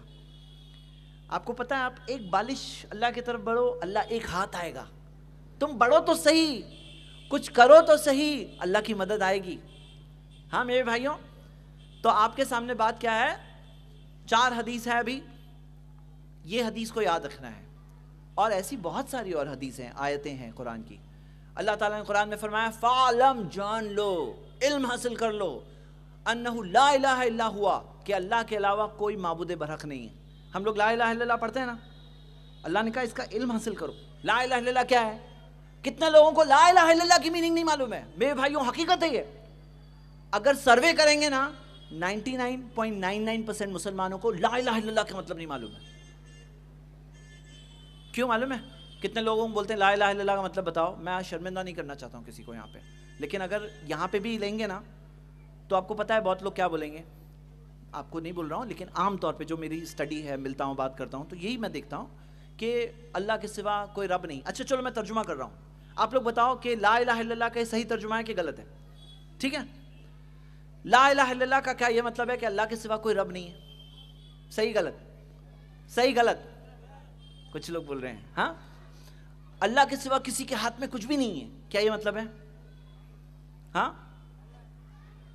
अल्लाह के सिवा कोई मबूद बरहक नहीं है। देखो एक्चुअली ये सही है, लेकिन इसमें क्या है ना, ये टॉपिक तोहीद का टॉपिक मालूम होना चाहिए। अच्छा तोहीद में, तोहीद का मतलब क्या है? अल्लाह की वहदानियत बरकरार रखना अल्लाह की रबूबियत में, क्या रब अल्लाह ही है? अल्लाह ही के हाथ में सब कुछ है। अल्लाह के नामों और सिफ़ात में, अल्लाह की इबादत में। मेरे भाइयों, आपको पता है तोहहीद के सब्जेक्ट में पासिंग मार्क्स कितने हैं? सौ में से होते हैं ना स्कूल में? कोई स्कूल का बच्चा है यहाँ पे? बेटा, स्कूल में कितने पासिंग मार्क्स है आपके? सौ में से कितने मार्क्स चाहिए पास होने के लिए? तीस? नहीं थर्टी फाइव होता है ना, मैं समझा। तीस है? हाँ? तीस मार्क्स ठीक है सब्जेक्ट के हिसाब से। तोहीद में पासिंग मार्क्स कितने हैं? तोहीद के सब्जेक्ट में पासिंग मार्क्स कितने हैं? हाँ। सौ में से तीस तीस, सौ में से सौ। सही जवाब, गलत जवाब? सही जवाब, गलत जवाब? थोड़े लोग बोल रहे हैं। बिल्कुल सही जवाब। थोड़ा सा शिरक कर सकते थोड़ा सा। थोड़ा सा शिरक हाँ? थोड़ा भी शिरक किए तो तोहिद गई। फेल। अब मालूम है क्या मेरे भाइयों? कितने लोगों को तोहीद का टॉपिक ही नहीं मालूम होता है। और जब उनको बोलते, तोहीद क्या बताओ? बोले, मुझे समझ में तो आता है, लेकिन समझाने नहीं आता है। तो समझ में आता है, समझाने नहीं आता है तो आपके बच्चे को आप कैसे बताओगे? आपके बच्चे को कैसे समझाओगे? तो मेरे भाइयों, ये सब टॉपिक कैसे मिलेगा? इल्म इल्म से मिलेगा इंशाला और सबसे पहले यही टॉपिक सीखना है। तो हम देख रहे हैं चार हदीस आपके पास है। मैं इनशाला एक थोड़ा सा बड़ा इनाम, जो चारों हदीस बताएगा, यहाँ पर आकर इनशाला कौन बता सकता है? चाचा, आप उठा रहे हैं बात हाँ हाँ तो ओके। और भी कोई जवान आदमी भी उठाए भाई। चारों हदीस सिर्फ़ मतलब बता दो, बिल माना, बिल मफहूम बता दो। एग्जैक्ट अरबिक टेक्स्ट मैं नहीं बोल रहा हूँ। चलो, चाचा के अलावा कोई और बोलो। आप उठाएँगे, आप आएँगे, आइए जरा। अच्छा अच्छा कोई बात नहीं माशाल्लाह यहाँ माइक है और एक आइए ऊपर आइए अल्लाह हमारे भाई के हिम्मत में और इल्म में अल्लाह ताला इजाफा करे अभी कुछ सुना नहीं लेकिन दुआ निकलती दिल से हिम्मत करने वालों के वालेकुम पहली हदीस पहली हदीस ये थी कि सिरात मुस्तकीम क्या है? हाँ हाँ कोशिश करिए और सन्नत सिरात मुस्तकीम के बारे में क्या था? सिरात मुस्तकीम के बारे में ये था कि सामने शैतान है और हमें सही सिरात मुस्तकीम में चलना अल्लाह दुआ करना है कि हम सीधी राह में चले। जन्नत की राह में। और और कोशिश करो। जन्नत की रास्ता। वो रास्ता क्या होता है? मुश्किल हो जाता है? आसान। आसान हो जाता है? हाँ, किसके लिए? जो इल्म वाला होता है। इल्म वाले के लिए? हाँ जो इल्म हासिल इल्म, करता है। इल्म आ गया उसके बाद ना? हाँ। जो इल्म नहीं आया उसके लिए नहीं ना? नहीं। देखो जो चल रहा है रास्ते पर इल्म के रास्ते पर चल रहा हाँ। एक होता है बन गया स्कॉलर आलिम बन गया उसके लिए जन्नत का रास्ता आसान होता है। नहीं जो इल्म हासिल करते रहते हैं। जो चल रहा है उसके लिए। नहीं जो इल्म नहीं मिला तो भी। नहीं नहीं। इल्म मिला फिर ना। हाँ। इल्म मिलने के बाद जन्नत का रास्ता आसान होता है कि इल्म मिले बगैर भी आसान हो जाता इल्म मिलने के बाद। ये बहुत काम की बात बोले इन्होंने हाँ? आप लोग में से कौन बता सकता है? क्या सवाल है? कि इल्म के रास्ते पर चल रहे हैं। जैसे होता है ना एप्पल तोड़ते हैं ना बच्चे लोग। पेड़ के ऊपर एप्पल है पत्थर फेंक रहे हैं। अब फेंके फेंके फेंके जब गिरेगा तब गिरेगा। नहीं तो तब तक एप्पल नहीं मिलेगा। खाली हाथ है। तो जो इल्म के रास्ते पर चलता है जब वो आलिम बनेगा तब जन्नत का रास्ता आसान होगा। या चलना शुरू किया तो आसान हो गया। क्या है सही जवाब? चलना शुरू किया तो आसान हो गया। हाँ इन्होंने ये कहा। आप लोग क्या बोलते हैं? सही जवाब क्या है? मालूम है आपको? चलते रहे। चलना शुरू किया तो जन्नत का रास्ता आसान हो गया। कितनी प्यारी बात है ये। आपने जो कहा ना जो उसके अंदर एक और पॉइंट निकल के आया है ना? चलना शुरू करो बस। ऐसा नहीं कि बड़े आलिम बन जाओगे कोलकाता के बड़े आलिम हैं हमारे एनुल क्या नाम है आपका? एनुल बारी साहब। नहीं नहीं हमारे भाई का नाम क्या एनुद्दीन है ना? एनुद्दीन भाई आप बड़े आलिम हो यहाँ के कोलकाता के? नहीं हो ना? आप एक आम आदमी हो। आपके लिए जन्नत का रास्ता आसान हो सकता है कि नहीं हो सकता है? हाँ? हो सकता है कि नहीं हो सकता है? आलिम बनने के बाद क्या अभी आलिम बनने के बाद क्या अभी अभी सही जवाब क्या है? अभी, भी आसान हो जाएगा आज आसान है चल मालूम है आज आसान है। आज आपके अंदर दीन के जज्बा आ रहा होगा क्योंकि दीन की बात सुनते तो होता है।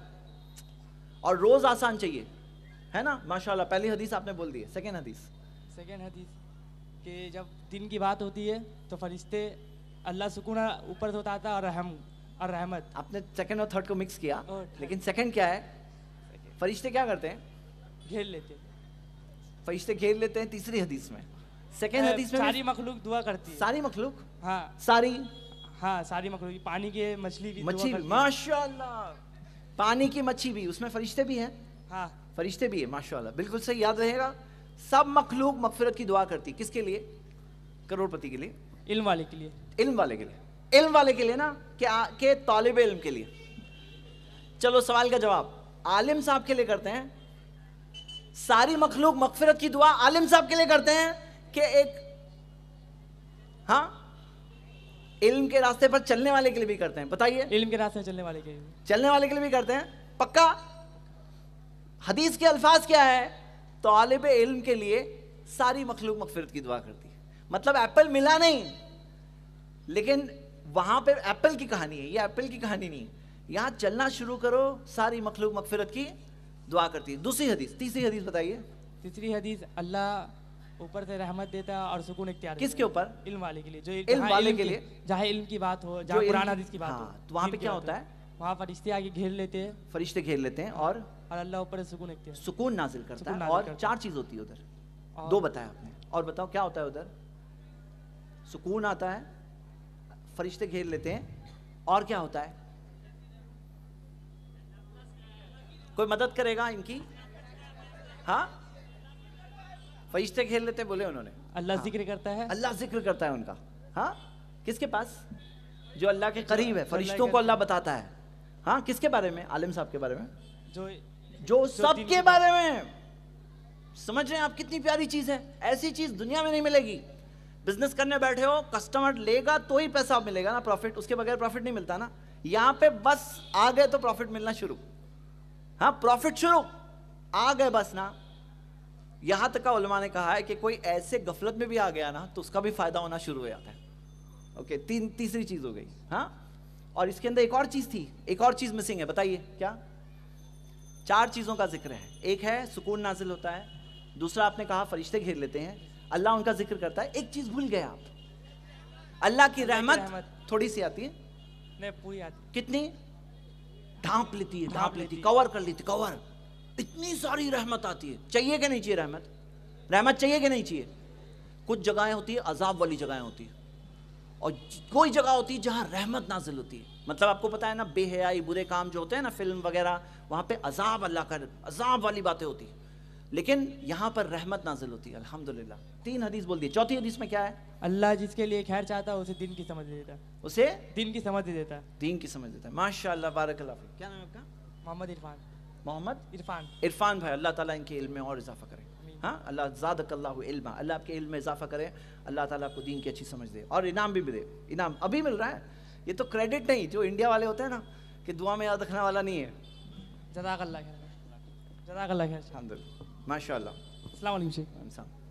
चलिए हम आगे बढ़ते हैं। चार हदीस हो गई। अब हम लोग आगे बढ़ते हैं दुनियावी तालीम के बारे में। अच्छा ये सब बात करने के बाद में दुनियावी तालीम की कुछ इंपॉर्टेंस है कि नहीं है? दुनियावी तालीम की कुछ अहमियत है कि नहीं है? थोड़ी बहुत थोड़ी सी है ना कि नहीं है? थोड़ी सी है। है कि नहीं है? है कि नहीं है? है हमारे दीन ने सिखाया।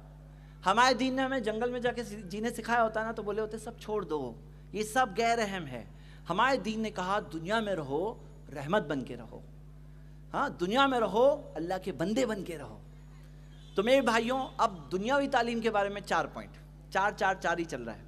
चार पॉइंट दुनिया की तालीम के बारे में। सबसे पहला पॉइंट मुस्नद अहमद की एक हदीस है।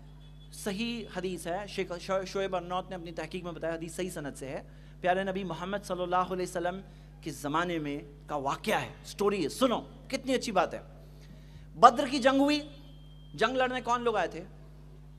कौन लोग थे वो? दोस्त लोग थे कि दुश्मन थे? जो लड़ने आए थे, मारने के लिए आए थे, कत्ल करने आए थे, कौन लोग थे वो? दुश्मन थे ना, मुश्रिकीन मक्का थे। नबी वसल्लम को मारने के लिए आए थे, सहाबा को मारने के लिए आए थे। जंग को कौन जीता? मुसलमानों ने। उनमें से कई सारे कैदी हुए अब कैदियों को नबी सल्लल्लाहु अलैहि वसल्लम ने एक ऑफ़र दिया। सुनो ऑफ़र।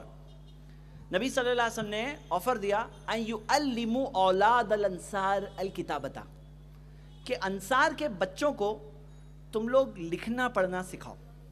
अंसार के बच्चों को लिखना पढ़ना सिखाओ। इतने बच्चों को सिखाए, आज़ाद हो जाओगे। इतने बच्चों को लिखना पढ़ना सिखाओ, फ्री। अब ये बताओ कि वो थे कौन? दुश्मन। नबी सल्लल्लाहु अलैहि वसल्लम ने उनको क्या बनाया? क्या बनाया? टीचर बनाया। दुश्मन को क्या बनाया? टीचर। क्या सीखे?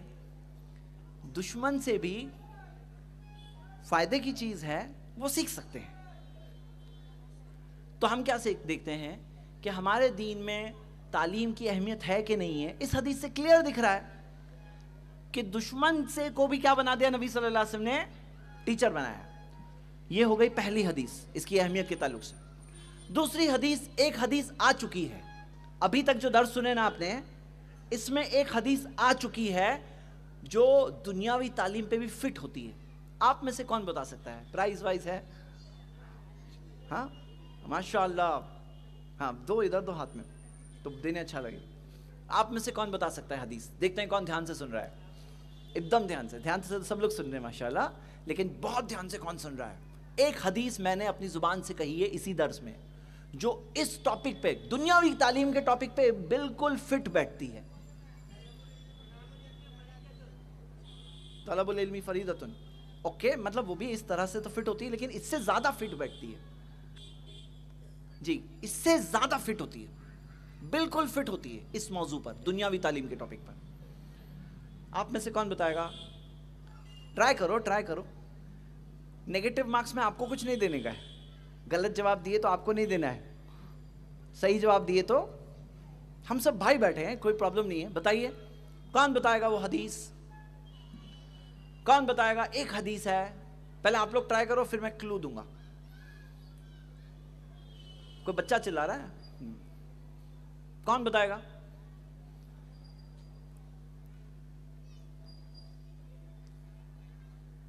अभी तक पहला सवाल है जिसका जवाब नहीं आया। नहीं तो सब सवाल के बिल्कुल सही जवाब आए थे।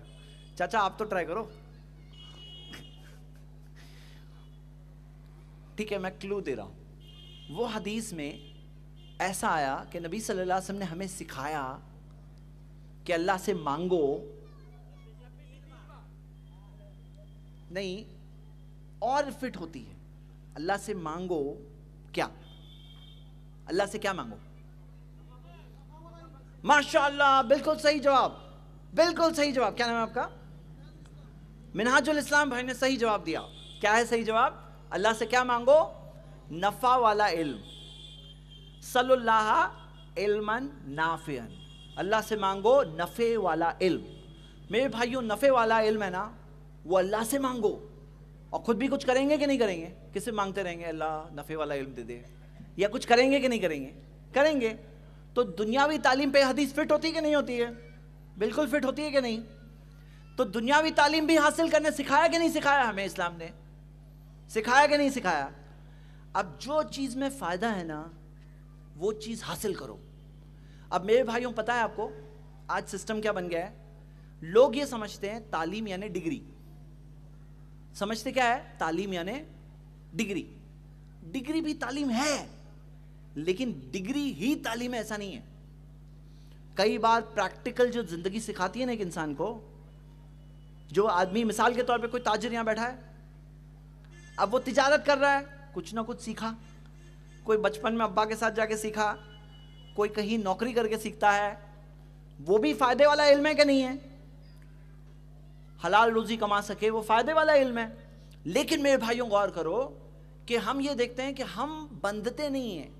हम दुनिया के कायम किए हुए मैारों पे हम सर नहीं झुकाते, हमने सर झुका दिया, इस्लाम के आगे सर झुका दिया, बस, वही हमारा दीन है, और कोई दीन ही नहीं है हमारा, एक ही दीन है इस्लाम। इस्लाम ने सिखाया नाफिया, फ़ायदे वाला इल्म तो फ़ायदे वाला इल्म कहीं भी हो, हासिल करो, आप ताजिर हो। क्या होता है ना, हमारे कंट्री में एक सिस्टम है 21 साल तक जो लोग सीखते हैं ना, ज़िंदगी भर उतने ही इल्म पे रहते हैं, उसके आगे सीखते ही नहीं हैं। लेकिन इस्लाम ने सिखाया, इल्म नाफिया, फ़ायदे वाला इल्म हासिल करो। मतलब आप ताजर हो, तजारत के ताल्लुक से देखो। आप डॉक्टर हो अभी एम बी बी एस किए एम डी करो, उसके आगे और पढ़ो इल्म नाफिया, फ़ायदे वाला इल्म हासिल करो। क्या होता है कि कई लोग इसकी अहमियत नहीं समझते हैं तो वो आगे नहीं बढ़ पाते हैं। मेरे भाइयों, क्या होता है, इल्म हासिल करने में आदमी को खुला जहन रखना चाहिए कि फ़ायदे वाला इल्म हमारा इल्म है। वो हासिल करने हमें सिखाया गया। और कोई वो नहीं है। लोग बोलते हैं, नहीं, शादी के बाद नहीं सीख सकते। ऐसा कुछ नहीं है। हर इल्म उम्र में सीख सकते हैं। हर उम्र में इल्म हासिल कर सकते हैं। कोई प्रॉब्लम नहीं है। तो दीनी इल्म हासिल करो सबसे पहले। उसमें कोई शक नहीं। लेकिन दुनियावी इल्म भी हासिल करने हमें सिखाया गया। ये हो गई दो दलील। तीसरी दलील मैं आपको दूँगा, फिर आप बताओगे कि कैसे फिट होती है ये दलील में आता है कुरान में 24 जगहों पर है। 24 जगहों पर। अफला ताकिलून, अकल नहीं इस्तेमाल करोगे। अकल नहीं इस्तेमाल करोगे। तीन जगहों पे है, अफला तुबसिरून, क्या देखोगे नहीं? तीन जगहों पे, अफला ततफक करून गौर नहीं करोगे। चौदह जगहों पे, अलम तोरा, ये देखते नहीं हो। तो इसमें दलील है कि नहीं है? दुनियावी इल्म हासिल करने के ताल्लुक से। है कि नहीं है? कहाँ है? कैसे है? अकल नहीं इस्तेमाल करोगे, देखोगे नहीं, सोचोगे नहीं। मतलब क्या? आदमी देखेगा, सोचेगा, अकल इस्तेमाल करेगा। इल्म मिलता है, इल्म ऐसे ही तो मिलता है ना। अकल इस्तेमाल करके इल्म मिलता है, अल्हम्दुलिल्लाह। अच्छा दीन में अकल इस्तेमाल करने की इजाज़त है कि नहीं है? दीन में। दीन में। है कि नहीं है? आपको पता है इसका क्या कायदा है? दीन में अकल इस्तेमाल करने की पूरी इजाज़त है, लेकिन अकल का मकाम कुरान हदीस के नीचे है। अकल का मकाम कुरान और हदीस के नीचे है। कुरान, हदीस को समझने के लिए अकल इस्तेमाल करेंगे। उसको चैलेंज करने के लिए नहीं। अकल कुरान और हदीस के नीचे है। कुरान, हदीस, कुरान अल्लाह के तरफ़ से, हदीस नबी सल्लल्लाहु अलैहि वसल्लम ने बातें कही, वही के तहत कही। तो ये हो गई हमारी तीसरी दलील। पहली दलील, बद्र के कैदी। याद रहेंगे बद्र के कैदी? याद रहेंगे? मेरे भाइयों, ये हमारे नबी सल्लल्लाहु अलैहि वसल्लम की सुन्नतें हैं। जिनसे हम सीखते हैं। दूसरी दलील इल्मन नाफिया, फ़ायदे वाला इल्म। तीसरी दलील अफला ताकिल अकल नहीं इस्तेमाल करोगे। तीन दलील हो गई। चौथी दलील, अल्लाह के रसूल सल्लल्लाहु अलैहि वसल्लम ने फरमाया अहबुन्नासी इल्लल्लाह अल्लाह के नज़दीक सबसे पसंदीदा लोग, अल्लाह जिनसे सबसे ज़्यादा मोहब्बत करता है, अनफाहुम लिन्नास, जो लोगों के लिए सबसे ज़्यादा फ़ायदेमंद है। सुनन तबरानी की इमाम तबरानी ने इस हदीस को मजमल कबीर में जमा किया है, तहकीक सही अलजामे में, हदीस सही सनत से। अल्लाह किन लोगों से सबसे ज़्यादा मोहब्बत करता है? अनफाउहुम लिन्नास, जो सबसे ज़्यादा फ़ायदेमंद है। जिनका जो सबसे ज़्यादा फ़ायदा पहुंचाते हैं, अल्लाह उन लोगों से सबसे ज़्यादा मोहब्बत करता है। फ़ायदा पहुँचाने के लिए कुछ मालूम भी तो होना चाहिए। मिसाल के तौर पे, किसी ने कोई नई चीज़ बनाई जिससे लोगों को फ़ायदा हुआ तो अल्लाह को बहुत पसंद है ये। अनफाहम लिन्ना सबसे ज़्यादा फ़ायदेमंद लोग अल्लाह को सबसे ज़्यादा पसंद है। तो ये हो गई चौथी दलील। लेकिन दुनियावी तालीम का मकाम समझना है कि दीनी तालीम के पहले के बाद में है। पहले के बाद में है। उसका मकाम ऊपर है कि नीचे है। दुनियावी तालीम का मकाम दीनी तालीम के नीचे है कि ऊपर है। नीचे, ऊपर नहीं। पहले और सबसे अहम चीज़ वो करोड़ों साल की ज़िंदगी। उसके बाद ये आएगी। है ना, ये हो गया पहली चीज़। दूसरी चीज़ याद रखो कि हमारे लिए इज़्ज़त और ज़िल्लत हमारे दीन पे चलने से है। आज बहुत से लोग बोलते हैं कि एजुकेशनल कॉलेज बनाओ, यूनिवर्सिटी बनाओ तो हालात सुधर जाएँगे मुसलमानों के। हकीकत ये बहुत खोल दी है लेकिन नहीं हो रहा है, क्योंकि जब तक दीन नहीं आएगा, तब तक नहीं होने वाला। तीसरी चीज़, दुनियावी तालीम को अल्लाह को भूल के नहीं हासिल करना है। अल्लाह को याद रख के करना है। इकरा बिस्मी रबिकल लदी खलक। पढ़ अपने रब के नाम से जिसने तुझे बनाया। चौथी चीज़, इल्म हासिल करने में हम भले ही गैर मुस्लिम और दूसरे मज़हब वालों से, बेदीन लोगों से भी सीख सकते हैं, लेकिन उनका अकीदा मुतासर होकर नहीं सीखना चाहिए। वो सिर्फ़ उतनी तालीम उस चीज़ के लिए होनी चाहिए और उसमें भी बेहतर है कि दीनी माहौल में रहे। दीनी माहौल में रहते हैं तो ईमान की हिफाजत होती है उसमें। तो ये हमने इस चीज़ के ताल्लुक से बात देखी। फाइनली ये पूरा मैदान खुला हुआ है मेरे भाइयों। अनफाहम लिन्ना सबसे ज़्यादा फ़ायदेमंद कौन हो? सबसे ज़्यादा फ़ायदा वो पहुँचाता है जो आखिरत के बारे में बताता है। ये सबसे ज़्यादा फ़ायदेमंद चीज़ है। आखिर में मेरे भाइयों, मैं फिर से वहीं पर उसी हदीस से ख़त्म करूँगा जहाँ से मैंने शुरू किया था। और ये हदीस सही बुखारी में है। प्यारे नबी मोहम्मद सल्लल्लाहु अलैहि वसल्लम ने फरमाया इन नमल इल्मो बेतालुम इल्म हासिल होता है तालीम से, स्टडी से। कुछ करेंगे तब जाके हासिल होगा। कोशिश करनी होगी। इल्म की बहुत अहमियत है। हमें वो अहमियत को समझना है। हमें उस चीज़ को अपनी ज़िंदगी में इन लाना है। चाहे दीनी इल्म है, चाहे दुनियावी इल्म है, सब हमारा है। सब हमारा है। हमें वो हासिल करना है। लेकिन अहमियत और मकाम को समझ करके उसकी ताल्लुक से तरजीहत रखनी है ज़िंदगी में। अल्लाह से दुआ है। अल्लाह हम सबको दीन के इल्म का मकाम और दुनियावी इल्म के मकाम, दोनों के मकाम को समझ करके हासिल करने के अल्लाह हमें तोफ़ी दे। अल्लाह हमें दीन पर चलने की तौफीक दे, उस इल्म को लोगों तक पहुँचाने की तौफीक दे। आमीन वाखिर दवाना अनिल आमीन, सुम्मा आमीन। अल्हम्दुलिल्लाह सिर्फ़ एक तकरीरी नहीं, बल्कि एक इस्लामिक प्रैक्टिकल क्लास भी हो गए हैं। इन हम भी ऑडियंस को यही बात पूछना चाहेंगे कि इन इस तकरीर में से शिक्षा के बारे में इल्म इल्म के बारे में जो हम लोगों ने सुने हैं इन हम उस पर अमल करेंगे।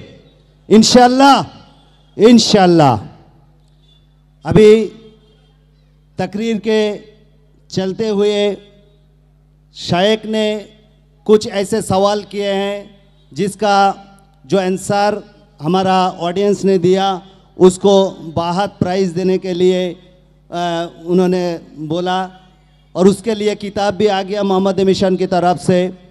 तो हम मोहम्मद फिरोज़ आलम खान जो है, उनको प्राइज़ देने की बात था। तो आप आइए, आपका किताब शेख के हाथ से लीजिए। और एक उधर से एक सवाल के जवाब बहुत बेहतरीन से आए थे। हमें पता नहीं उसका नाम नहीं आया। अगर आ जाए भाई तो बहुत अच्छा। इनशाला आज 10 मिनट के लिए जो आई प्लस टीवी के जो चैनल की बात करेंगे, उससे पहले हम मोहम्मद मिशन ट्रस्ट के तरफ़ से मौलाना शेख जायद साहब को एक ट्रॉफ़ी देंगे। उसके लिए मीनाजुल इस्लाम भाई जो आप सामने बैठे हुए हैं, आपके हाथों से देने का बात है तो आप मंच पर आ जाइए प्लीज़ और ट्रॉफ़ी लाइए इधर। आइए, आप भी आइए, आप भी आइए।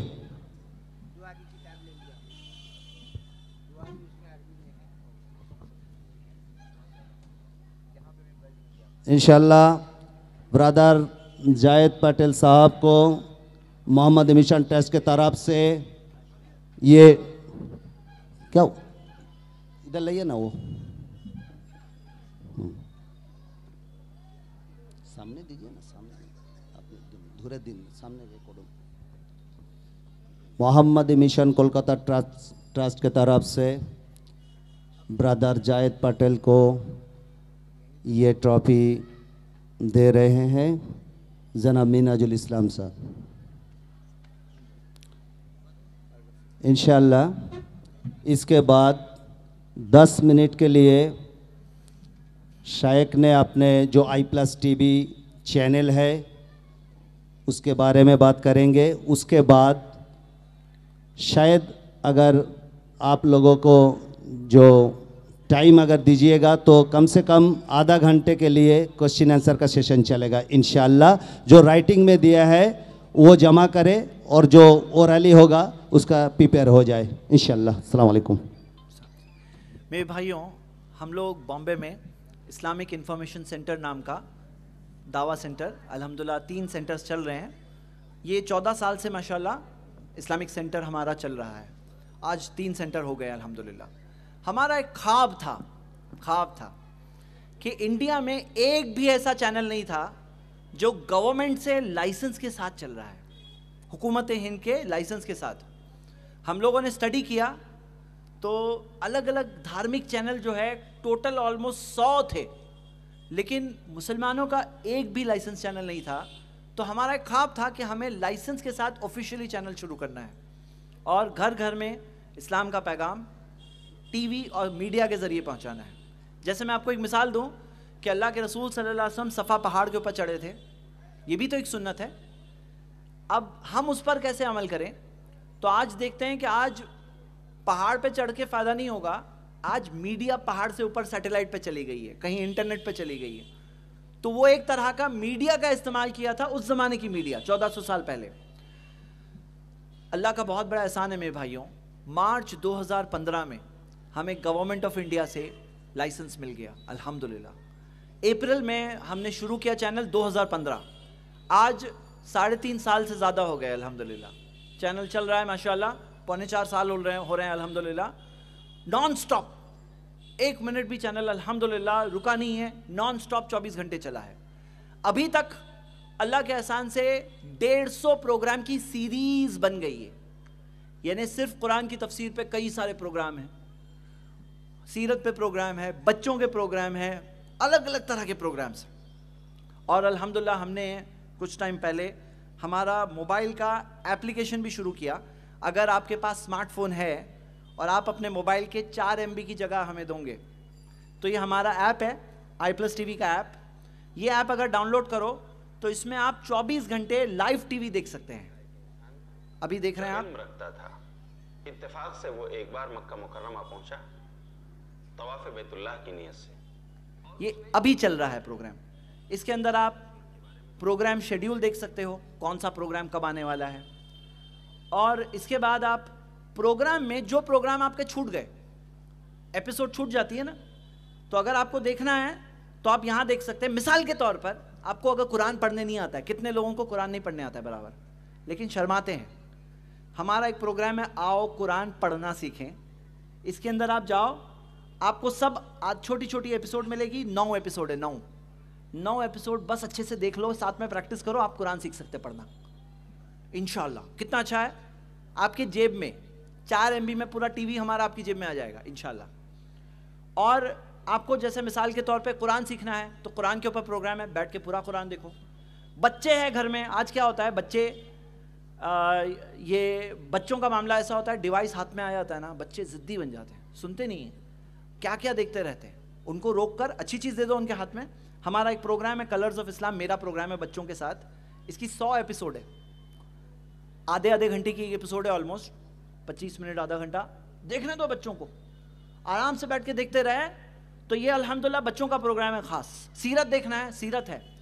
उलमा के अतबार से अब तक 80 इस्लामिक स्कॉलर और स्पीकर्स टीवी पे आ गए हमारे। और हमने क्या किया कि एक एक स्कॉलर का खुद का सेक्शन बनाया।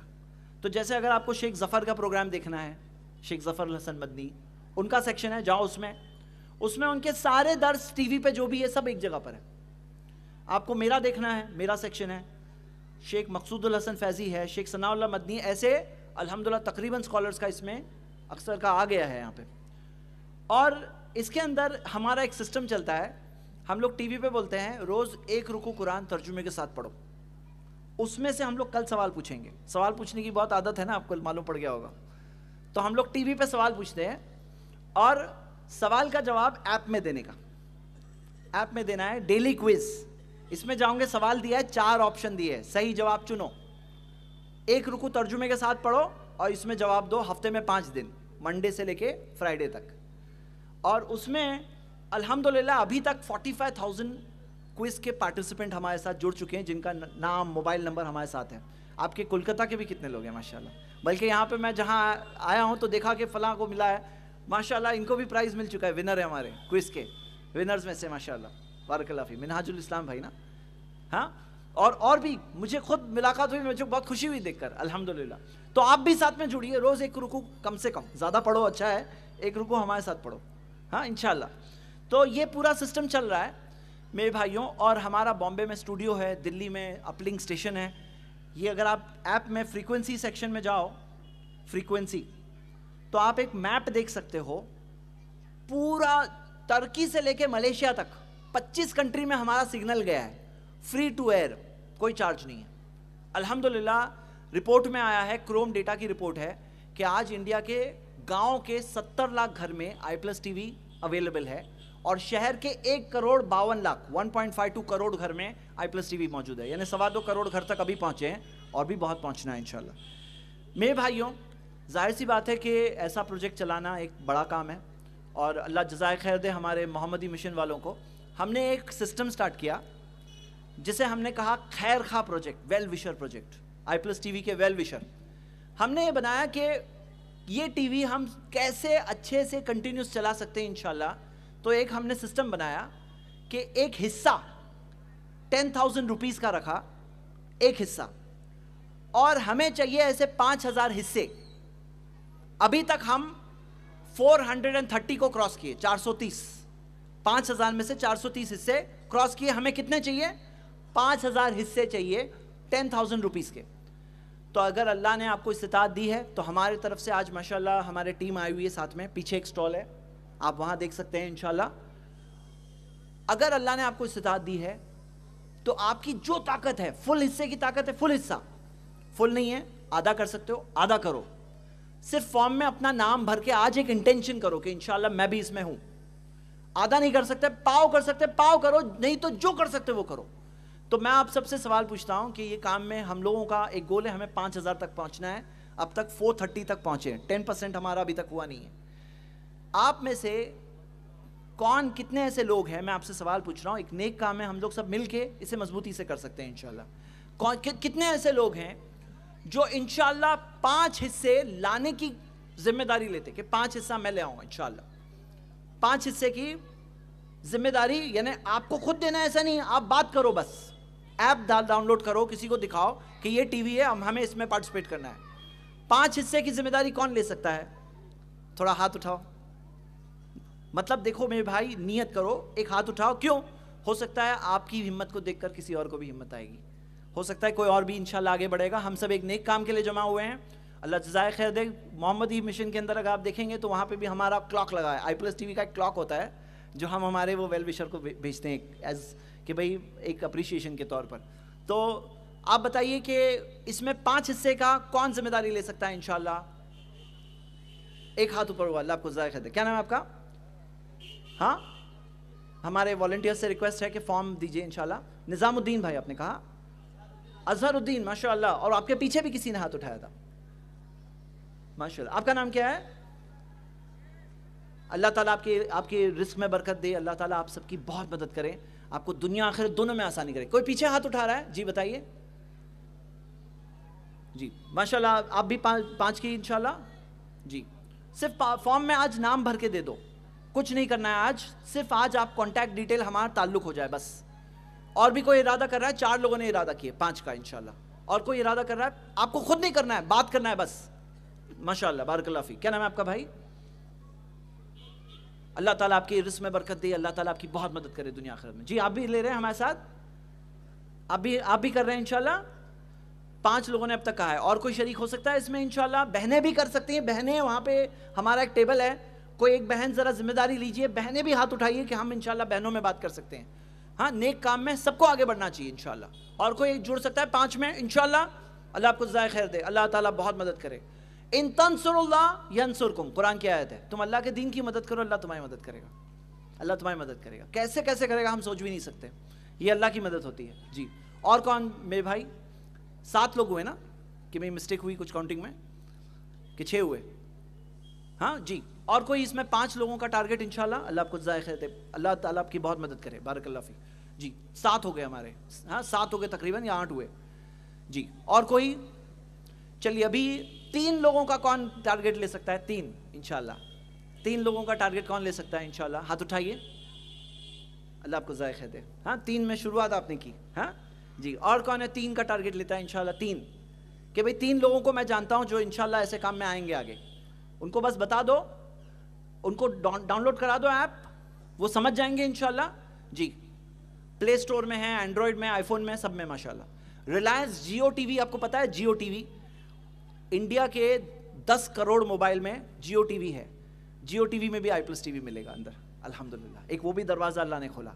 अभी हम लोग खास कोशिश कर रहे हैं टाटा स्काई वगैरह के लिए। अल्लाह से बहुत दुआ करिए, बल्कि क्यों ऐसे को जानते हो, टाटा स्काई वीडियो कौन है, उनको बोलो कंप्लेन करने। तो हो सकता है बहुत जल्द हम इंशाल्लाह उस पर भी आ जाएँगे। जी, और कोई है इसमें इंशाल्लाह? तीन लोगों का टारगेट जी, अल्लाह जजाय खैर दे आपको मेरे भाई। जी, और कोई तीन वाला है? तीन का टारगेट इंशाल्लाह? तीन का दो लोगों ने अब तक ज्वाइन किए। कोई तीन में है? तीन का टारगेट इंशाल्लाह। अल्लाह आपको ज़ाय खैर दे, अल्लाह ताला को ज़ाय खैर दे। जी फॉर्म दीजिए वहाँ पे इंशाल्लाह। हाँ जी फॉर्म पे भर करके दे दीजिए इंशाल्लाह, लिख दीजिए। तीन का टारगेट ज़रा गोल में सर्कल करके लिख दीजिए इंशाल्लाह। और देखे जाइए, खाली नियत से हम लोग कोऑर्डिनेशन नहीं कर पाएँगे इंशाल्लाह। जी, और कौन? तीन में तीन लोग हुए अभी तक। तीन में ओके अच्छा मेरे भाइयों सिंगल शेयर का कौन इंशाल्लाह कर सकता है? सिंगल शेयर सिंगल शेयर तो अभी मैं यहाँ पे अपना ऐलान को रोक रहा हूँ। आप सबको फॉर्म दिया जा रहा है। आप कुछ एक नियत करो। नहीं तो जो हो, आपके लिए वो मुमकिन करो। अल्लाह को पता है कि आप किसके माल में क्या बरकत है। कौन से से हमारा काम कितना आगे बढ़ेगा। टीवी चल रहा है। हम लोग बहुत स्ट्रगल करके चला रहे हैं। ये एक ऐसी चीज़ है जो बड़ा ज़रिया है, लेकिन एक्सपेंस भी उसमें होता है। तो हम अपने टारगेट की तरफ़ बढ़ने की कोशिश कर रहे हैं। आप सब भाई भी हमारे साथ इंशाल्लाह जुड़िए। ये काम हम सब का काम है। ये हम सब का काम है क्योंकि दावत पहुंचाना हम सब का काम है। दावत हम सबका काम है। जजाकल्ला खैर।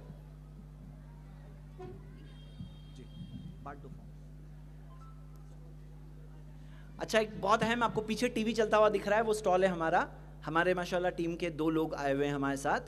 और वहाँ पे आप बात भी कर सकते हैं फॉर्म भर के वहाँ पे सबमिट करके जाना है, इंशाल्लाह। हाँ आज नियत करके यहीं पे भर के एटलीस्ट फ़ोन नंबर भर के दे के जाइए जजाकला खैर।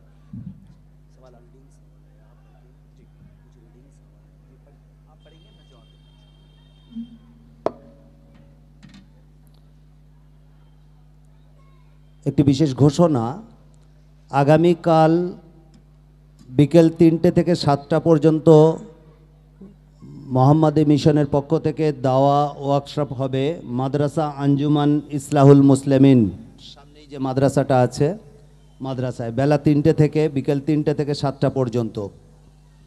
আর মোহাম্মদী মিশনের অফিসে, লাইব্রেরিতে সপ্তাহে দুদিন, বুধবার ও রবিবার আই প্লাস টিভি চ্যানেলের বিভিন্ন অনুষ্ঠান চিপে আপলোড করা হয়, যারা এ ধরনের লোড করতে ইচ্ছুক, তারা রবিবার ও বুধবার বাদ মাগরিব থেকে রাত দশটা পর্যন্ত আপলোড করা হয়।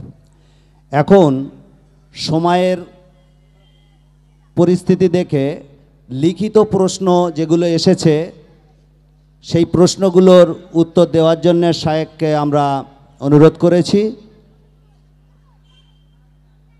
যে কটা প্রশ্ন এসেছে আমি ইনশাআল্লাহ ওগুলো শায়েকের সামনে উপস্থাপন করব দাঁড়াও তুমি এ পাশে দাঁড়াও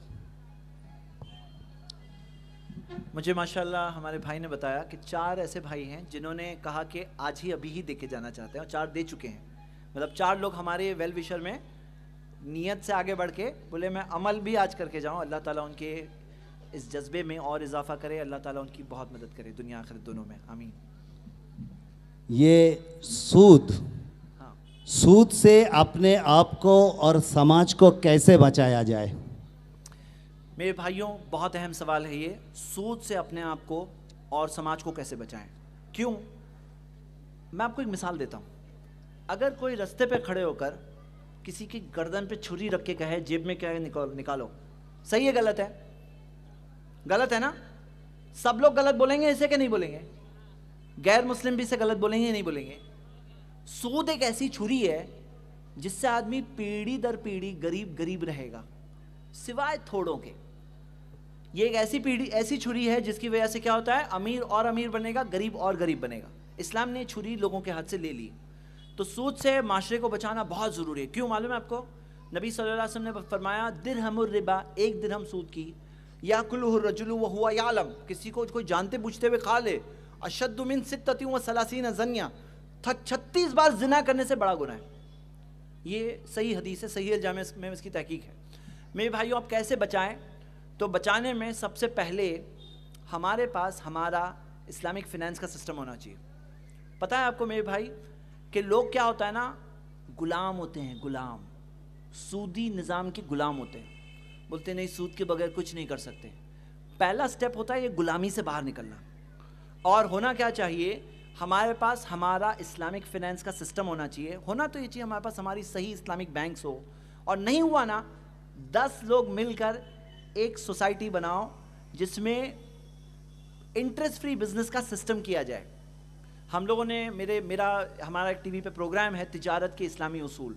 उसमें ऐसी कई आइडियाज़ दिए हैं, कैसे सूदी सिस्टम के बगैर हम अपने हलाल तिजारत के सिस्टम, कैसे बिज़नेस को आगे बढ़ाना, कैसे बिज़नेस के अंदर लोगों को बढ़ाना, कैसे लोग, हमारे लोग बिज़नेस के अंदर आगे बढ़ें। उसके अल्हम्दुलिल्लाह आई प्लस टी पे चार प्रोग्राम है बिज़नेस और हम ऐसे कई चार पाँच प्रोग्राम है, माशाल्लाह। तो हम लोग ये आइडियाज़ दे सकते हैं। एक्शन तो ज़मीन पे आप लोगों को ही करना है। हम लोग मीडिया है, हम लोग बात कर सकते हैं, बस। उसके आगे अमल तो आप लोगों को लाना होगा। तो ये सब चीज़ें हैं, लेकिन फ़र्स्ट चीज़ है तालीम। सूद को पहचानना ज़रूरी है। सूद के ताल्लुक से वर्कशॉप रखो। सूद के ताल्लुक से मीटिंग रखो, ताजिर सब मिलो। कम्युनिटी में कोई भी कोई भी माशरा हो, वहाँ पे तरक्की आएगी अगर सूदी निज़ाम निकलेगा तो। क्योंकि सही बुखारी की हदीस है, लाना रसूलुल्लाह सल्लल्लाहु अलैहि वसल्लम, नबी सल्लल्लाहु अलैहि वसल्लम ने लानत की आकिल रिबा सूद खाने वाले पर व मुँह की लहू खिलाने वाले पर व काति बहू उसकी एंट्री करने वाले पर, कातिब लिखने वाले पर। आजकल ऐसा लिखते हैं ना, पहले ऐसे लिखते थे, काति बहू, व शाहिदैनी दोनों गवाहों पर, काला हम सवा, उनका सब के सब बराबर है। नबी सल्लल्लाहु अलैहि वसल्लम ने लानत की तो सूद पे लानत है, देने वाले पर भी है, लेने वाले पर भी है। तो यहाँ क्या मामला है कि इसके अंदर ये लानत से बचेंगे तो हमारी तरक्की होगी कि नहीं होगी? तरक्की का एक फॉर्मूला है, सूदी सिस्टम को माशरे से निकालो, तरक्की होती है। इसके बहुत सारी मिसालें भी है, जो अगर देखें तो दुनिया में देख सकते हैं। मेरे भाइयों, सही बात यह है कि हम छोटे तौर पे कैसा काम करें, छोटी सी ऐसी इस्लामिक क्रेडिट सोसाइटी बना सकते हैं, जिसके ज़रिए हम अपना इस्लामिक जो फिनेंस का सिस्टम है, छोटे पैमाने पे अमल कर सकते हैं। तरीके हैं, अभी फुल ट्रेनिंग यहाँ नहीं हो सकती, वो आप लोग इंशाल्लाह वीडियो का कोर्स है पूरा, वो देखिए। टीवी ऐप में भी मौजूद है। जजाकला खैर। एक अच्छे मुसलमान क्या लॉयर बन सकते हैं? सवाल यहाँ ये है हमारे सामने कि क्या एक अच्छा मुसलमान लॉयर बन सकता है? तो हम ये देखते हैं कि जो लोग हैं ना इसमें गुलाम मैंने बताया गुलामी ये गुलामी से बाहर निकलना पहले ज़रूरी है। आज जो लोग बोलते हैं ना बोलते हैं आजकल तो झूठ बोलना पड़ता है। आजकल बोलना पड़ता है यानी इस्लाम 1400 साल पहले के लिए था आजकल के लिए नहीं है। इस्लाम तो हर ज़माने के लिए ना। तो हम देखते हैं कि लॉयर भी मुसलमान बन सकता है, लेकिन उसके अंदर कायदे हैं। लॉयर के लिए कायदे हैं। और आप सबको मैं एक बात बता रहा हूँ, अल्हम्दुलिल्लाह फतवा की वेबसाइट मौजूद है, इस्लामिक फतवा की। सऊदी की सीनियर कमेटी ऑफ़ उलमा है, उनके फतवे की वेबसाइट है। एक वेबसाइट है Islam Q A dot com आप जो भी काम करते हो ना डायरेक्ट मत जम मारो। इल्म नॉलेज तो उसके ताल्लुक से आपका जो भी फतवा है, सवाल है लॉयर करके सर्च करोगे, आपसे पहले बहुत लोगों ने सवाल पूछ चुका है। एक लाख से ज़्यादा सवालों के जवाब है उसमें, लाखों सवाल है बल्कि। तो यहाँ क्या है? आप सर्च करो लॉयर के ताल्लुक से क्या क्या फतवे मिल रहे हैं। वन टू थ्री फोर वो दायरा है, दायरा। दायरा मालूम है? ये सही का दायरा है, उसके आगे हराम है। दायरा मिलना चाहिए। मेरा प्ले ग्राउंड कितना है? ये ग्राउंड का दायरा मालूम है हमें। इसके बाहर जाके अभी वहाँ भी अगर लगा दे हम लोग यहाँ पे ऊपर भी चढ़ जाए तो नहीं ग्राउंड इतना है। बाहर ग्राउंड नहीं, वो रोड है। दायरा है। तो दायरा मिल जाए, फिर दायरे के अंदर बेस्ट बनो। और क्या है कि गुलामी के शिकार मत बनो। अगर आदमी गुलाम है ना तो कुछ नहीं कर सकते उसके लिए। वो गुलामी से बाहर निकलेगा तो ही हो सकता। इस्लाम हर ज़माने के लिए है। चौदह सौ साल पहले के लिए भी था, क़यामत तक के लिए है। और सक्सेसफुल सिस्टम है, कामयाब सिस्टम है। दुनियावी एतबार से भी कामयाब है, आखिरत के एतबार से भी कामयाब है। लेकिन ये तब मिलेगी जब हम ईमान के साथ उसकी तरफ़ देखेंगे तो एक मुस्लिम लॉयर हो सकता है लेकिन उसका दायरा है। वो दायरे की डिटेल फतवे वेबसाइट पे जाओ लॉयर करके सर्च करो सब फतवे मिल जाएँगे बैठ के देख लो इंशाल्लाह। अच्छे इंसान और अच्छे समाज कायम करने के लिए मस्जिद का क्या रोल होना चाहिए? मेरे भाइयों एक बहुत अहम सवाल है ये कि एक अच्छा समाज कायम करने के लिए अच्छे लोगों को बनाने के लिए मस्जिद का क्या रोल होना चाहिए? सबसे पहले हम ये देखते हैं कि मस्जिद अल्लाह की इबादत के लिए है। नबी सल्लल्लाहु अलैहि वसल्लम ने फरमाया, सही बुखारी की हदीस है कि अल्लाह ताला ने इसे बनाया है नमाज़ के लिए, इबादत के लिए, अल्लाह के ज़िक्र के लिए, वो उसका बुनियादी मकसद है। और मस्जिद क्या है? ये वो जगह है जहाँ एक पोस्टर नहीं छापते हैं, एक पब्लिसिटी नहीं करते हैं। हर जुम्मा को, अल्हम्दुलिल्लाह, बगैर पोस्टर पब्लिसिटी के पब्लिक आती है। अफसोस की बात है कि अक्सर मस्जिदों में लोग आते हैं, चले जाते हैं। होना क्या चाहिए? कि इल्म का उनका इंतज़ाम होना चाहिए, उनके लिए खुतबा हो तो ऐसा हो कि वो उन तक फ़ायदा पहुँचे इन तो ये सबसे पहला और सबसे बुनियादी चीज़ है। बाकी हम ये देखते हैं कि मस्जिद नबी सल्लल्लाहु वसल्लम का दावा सेंटर थी। मस्जिद नबी में हम देखते हैं नबी सल्लल्लाहु वसल्लम ने जो तालीम और इल्म का निज़ाम बनाया कि किस तरह से असाबुसफ़ा थे। असाबुसफ़ा कौन थे? ये वो लोग थे जिनके अंदर ज़्यादा की तलब थी। देखो मेरे भाइयों, जिसके बाजू में जितनी ताकत तो कुएँ का पानी तो सबके लिए है, लेकिन जिसके बाजू में ज़्यादा ताकत है, वो ज़्यादा पानी निकाल के लेके आएगा। हमारे यहाँ एक सिस्टम है कि जो मदरसे में पढ़ा, वही पढ़ा, और जिसको मदरसे में पढ़ने नहीं मिला, वो नहीं पढ़ता है। हालाँकि क्या होना चाहिए, मालूम है आपको? इल्म ओपन है मामला। हमारे यहाँ एक तबका है, सिर्फ़ उनके लिए है, ऐसा नहीं है। तो असाबुसफ़ा का इंतज़ाम था।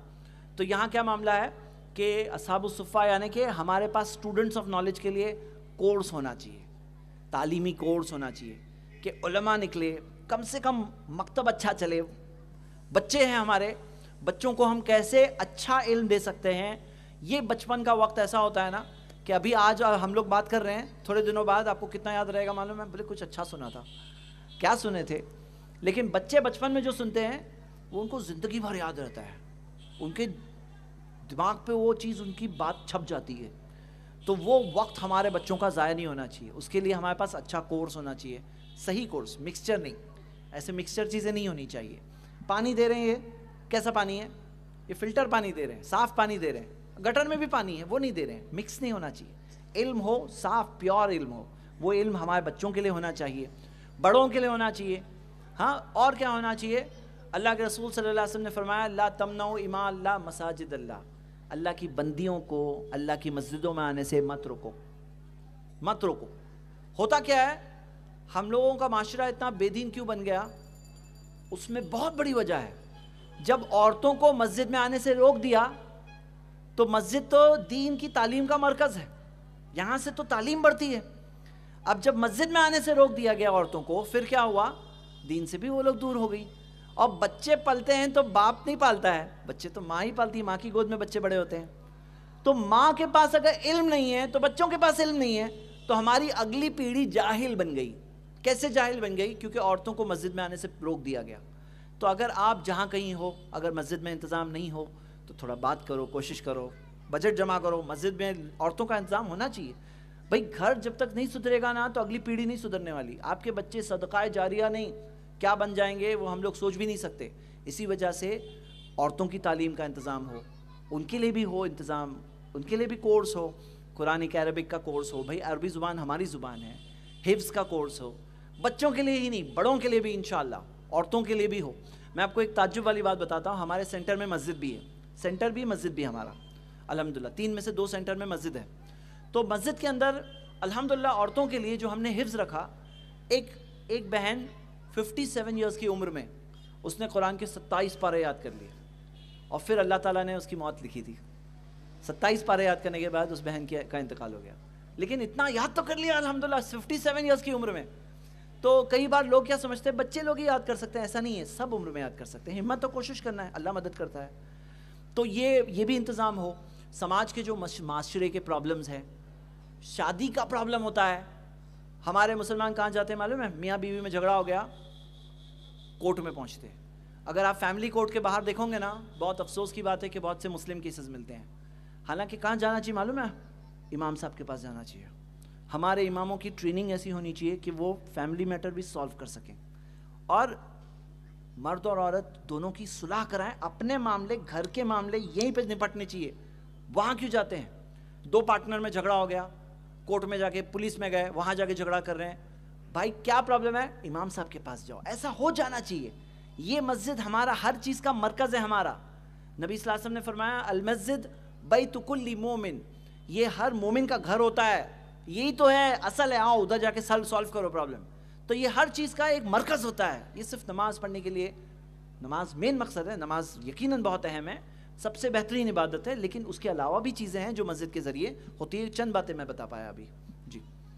मुस्लिम औरतों के लिए किसी भी कंपनी में गैर मर्द के साथ काम करना नकरी करना ये कहाँ तक जायज़ है?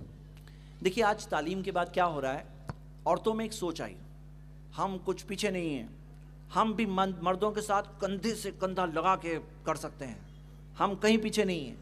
और फिर क्या हुआ कि औरतों को ये सब माहौल में डाल दिया गया। अब अल्लाह के रसूल मोहम्मद सल्लल्लाहु की तालीम है, सुनन अबू दाऊद में सही सनत से हदीस है। अल्लाह यखलुवन्ना रजुलन काना शैतान। जब भी कोई मर्द और कोई औरत अकेले होते हैं, तीसरा वहाँ शैतान होता है। तीसरा वहाँ शैतान होता है। और इस्लाम ने क्या सिखाया? खुलवत नहीं होनी चाहिए, मिक्स नहीं होना चाहिए मर्दों औरतों को। अलग होना चाहिए। और नबी सल्लल्लाहु अलैहि वसल्लम ने सिखाया सुनन इब्न माजा में सही सनत से हदीस है लाई युत अना फिरौसी अहदिकुम बिमिखियत मिन हदीद तुम में से किसी के सर में लोहे की सुई डाल दी जाए। खैरुल्लहू बेहतर है। बनस्बत इसके कि वो किसी ऐसी औरत को छुए जो उसके लिए हलाल नहीं है। कोई औरत जो हलाल नहीं है, उसको छूने से अच्छा सर में लोहे की सुई आ जाए। वो फिर भी बेहतर है। औरत को हलाल नहीं, उसको छूना इतना बड़ा गुना है। तो ये शेक हैंड करते हैं, ये क्या है? हम लोग नहीं मानते, ये सब सही है। अब औरतों का अपना मैदान है। जैसे मिसाल के तौर पर अब कोई डॉक्टर के पास जाना है, लेडीज़ को लेकर तो कोई भी पसंद करेगा कि अपनी बीवी को, बहन को कोई जेंट्स डॉक्टर देखे या लेडीज़ डॉक्टर देखे। तो वो डॉक्टर्स चाहिए हमें। हमें मेडिकल प्रोफेशन के अंदर, नर्सिंग में चाहिए, तालीम में, टीचिंग में चाहिए, ऐसे मैदान है। लेकिन ये जो कंपटीशन सोच के बैठा है, बैठे हैं वो लोग कि औरतों का कंपटीशन कोई कंपटीशन नहीं है। दोनों का कॉम्प्लीमेंट्री रोल है। मर्दों और औरतों का कॉम्प्लीमेंट्री रोल है। कुरान में सूर्य तौबा सूरा नाइन, आयत नंबर सेवेंटी वन में अल्लाह ताला ने फरमाया, वल मोमिनूना वल मोमिनाती बाद मौलिया बाज। मोमिन मर्द और मोमिना औरतें एक दूसरे के मददगार हैं। हाँ एक दूसरे के मददगार हैं। तो ये कोई कंपटीशन नहीं है। दोनों का अपना रोल है। अब जो लोग कहते हैं ना, औरतें और मर्द बराबर हैं। मर्द भी बोलते हैं। बोलते हैं, हम लोग सब बराबर है। बराबर है तो चलो, मर्द प्रेग्नेंट क्यों नहीं होते? मर्द तो प्रेग्नेंट नहीं होते। हमल नहीं होता है ना मर्दों को। दूध नहीं पिलाते मर्द हाँ औरतें पिलाती हैं। अब वहाँ पे जॉब अलग देखेगी, बच्चे को अलग देखेगी। अल्लाह अकबर, कितना बड़ा टेंशन है उन औरतों के लिए। तो काश के लोगों को समझ में आया था कि कोई कंपटीशन ही नहीं है दोनों के बीच में। भाई, दोनों का एक कॉम्प्लीमेंट्री रोल है, दोनों मदद करते हैं एक दूसरे की जन्नत जाने के लिए। इसमें बहुत तफसीलात हैं, एक अलग मौजू हो सकता है। मुख्तसर में ये चीज़ें हैं कुछ। दिन इस्लाम के तलीमत हासिल करने के लिए क्या मदरसा ही जाना पड़ेगा या कोई दूसरा स्टडी से हो सकता है? दीन की तालीमत हासिल करने के लिए क्या मदरसा जाना ज़रूरी है या दूसरे भी तरीके हैं? मेरे भाइयों, आप सबको मैं चंद बातें बताऊँगा इस बारे में। मदरसों का बहुत बड़ा मकाम है। मदरसे दीन का मरकज़ है मदरसे दीन का इल्म देते हैं। उनका बहुत बड़ा मकाम है क्योंकि वो इल्म को आम कर रहे हैं। लेकिन अगर किसी को मौका नहीं मिला मदरसे में पढ़ने तो क्या करें? तो ऐसे बहुत सारे और मौके हैं। मैं आपको मिसाल देता हूँ कि आप देख सकते हो कि आज इस्लाम की वेबसाइट्स हैं, जो कोर्सेज हैं। हमारा खुद का इस्लामिक सेंटर है, उसका अलग ऐप है आईआईसी का। हमारा एक कोर्स है डिप्लोमा इन शरिया स्टडीज़। ये कोर्स हम पढ़ा रहे हैं। अभी जैसे मिसाल के तौर पे कोर्स चल रहा है विरासत और जनाजा। जनाजे का कोर्स और विरासत का कोर्स। आप वीडियो ऑनलाइन देखिए, डाउनलोड करिए नोट्स एग्ज़ाम दीजिए ऑनलाइन, ऐप में ही पूरा। तो आप कर सकते हैं, इंशाल्लाह यूट्यूब चैनल आईआईसी का अगर सब्सक्राइब करें तो ऐसे कितने कोर्सेज है? इस्लामिक ऑनलाइन यूनिवर्सिटी आईओयू उसकी वेबसाइट है। और ऐसे कोर्सेज है जो मदीना यूनिवर्सिटी का कोर्स भी ऑनलाइन मिल रहा है। और किसी में जज्बा आया, भाई, मेरे भाइयों, आपको बताऊँ डिमांड होता है ना तो सप्लाई आता है। डिमांड हो तो सप्लाई होगा।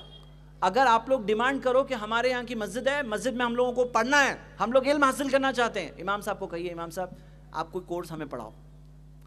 क्या होता है ना कि डिमांड नहीं होता है तो सप्लाई भी नहीं होता है। अगर आपके पास डिमांड है तो डिमांड है अगर ज़रूरत है तो सप्लाई मिलेगा इन नहीं है तो लाओ बा, बाहर से। सब हो सकता है डिमांड होना चाहिए। तो अल्हम्दुलिल्लाह ये एक चीज़ है।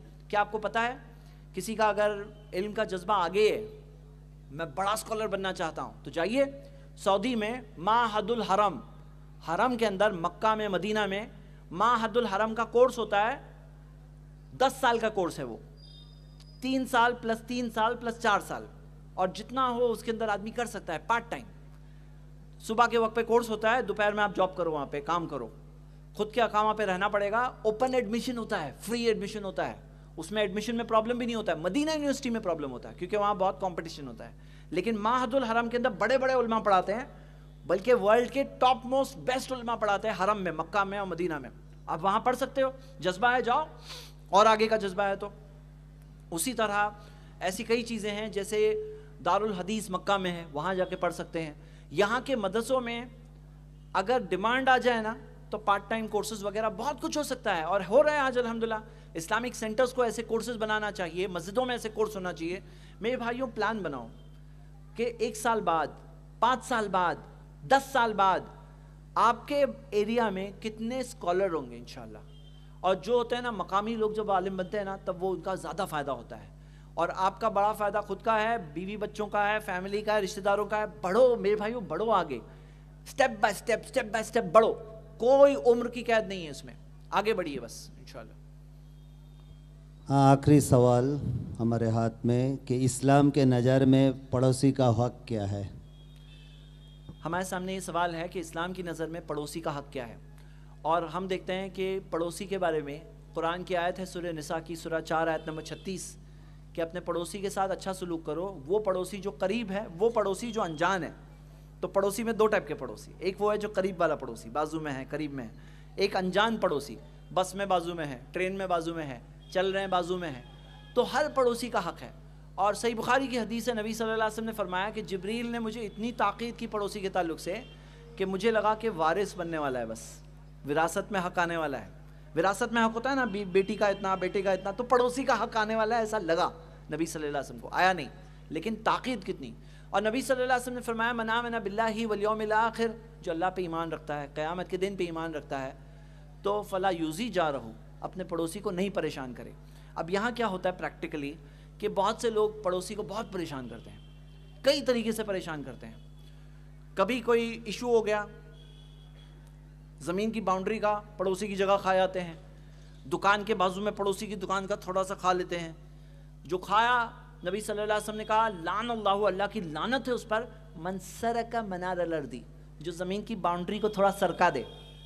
बाउंड्री को सरका दे, अल्लाह की लानत उस पर आती है। तो ये क्या है? पड़ोसी पे परेशान करना बहुत बड़ा गुनाह है। कुछ लोग होते हैं जो पड़ोसी के बारे में सोचते नहीं हैं, उसे तकलीफ़ पहुंचाते हैं। भाई, बच्चे खेल रहे हैं पड़ोसी के तो एक है कि पड़ोसी भी संभाले कि बाजू में डिस्टर्ब ना हो। दूसरा है कि बात बात में जाके उनको परेशान करना, सोचना चाहिए हमें। कुछ घर में अच्छा बना। नबी सल्लल्लाहु वसल्लम ने फरमाया कि अगर तुमने, तुम में से तुम्हारे पास अगर अच्छा खाना बन रहा है फ़क्सर मरकत हो उसमें पानी डाल के थोड़ा सा शोरबा बढ़ा दो। वग्रिफली जारी का शय मिन हो उसमें से अपने पड़ोसी को भी थोड़ा दो। मतलब घर में अच्छा खाना बन रहा है तो पड़ोसी को खुशबू आ जाती कई बार, कि बावजू में लगता है अच्छा खाना बन रहा है, लेकिन कुछ आता नहीं है। तो ऐसा नहीं, थोड़ा सा शोरबा बढ़ाकर थोड़ा उसको भी भेजो, इससे मोहब्बत बढ़ती है। नबी सल्लल्लाहु अलैहि वसल्लम ने फरमाया, हदिया दो, मोहब्बत बढ़ती, तहादू तहाबू, हदिया दो, मोहब्बत बढ़ती है। लेकिन हदिये की बात होती है ना तो लोगों को लगता है हाँ मेरा पड़ोसी मुझे हदिया नहीं देता है। सिर्फ़ हदिया आना चाहिए सोचते हैं, हदिया जाना चाहिए नहीं सोचते हैं। तो हदिया दो भाई पड़ोसी को, उसको दो अच्छा लगता है, अज्र मिलता है, सवाब मिलता है हमें। और क्या हम देखते हैं कि पड़ोसी के ताल्लुक से नबी वसल्लम ने कहा कि अल्लाह की कसम, वो शख्स मोमिन नहीं है, जो पेट भर के सोता है वह जा रूह जायुन जम्बी और बाजू में उसका पड़ोसी भूखा सो रहा है। लेकिन आज क्या हकीकत है मालूम है? फ्लैट सिस्टम वगैरह में पड़ोसी क्या भूखा सोया है, कैसे सोया है? पड़ोसी का नाम भी मालूम नहीं होता है लोगों को। पड़ोसी का नाम भी मालूम नहीं होता है तो उसका पेट भरा हुआ है, भूखा है, वो भी नहीं मालूम पड़ेगा। कहाँ से मालूम पड़ेगा? नाम ही मालूम नहीं है। तो ये अगर है तो थोड़े पड़ोसी से मिलो, सलाम, दुआ करो, मालूम पड़ेगा भूखा सोया है कि नहीं सोया है। मालूम कैसा पड़ेगा भूखा सोया है? तो हमें ये टच रखना चाहिए, मिलना चाहिए। मेरे भाइयों, एक होमवर्क कबूल करिए, पड़ोसियों से मिलिए। दावत का भी ज़रिया है, उनको इस्लाम की दावत देने का, पहुँचाने का भी ज़रिया है इन सवाब मिलने का भी ज़रिया है। तो पड़ोसी बहुत बड़ी चीज़ है, जिसके ज़रिए हम इस्लाम की दावत भी पहुँचा सकते हैं और बहुत बड़े फ़ायदे हैं। दुनिया में सुकून मिलता है और आखिरत में कामयाबी मिलती है।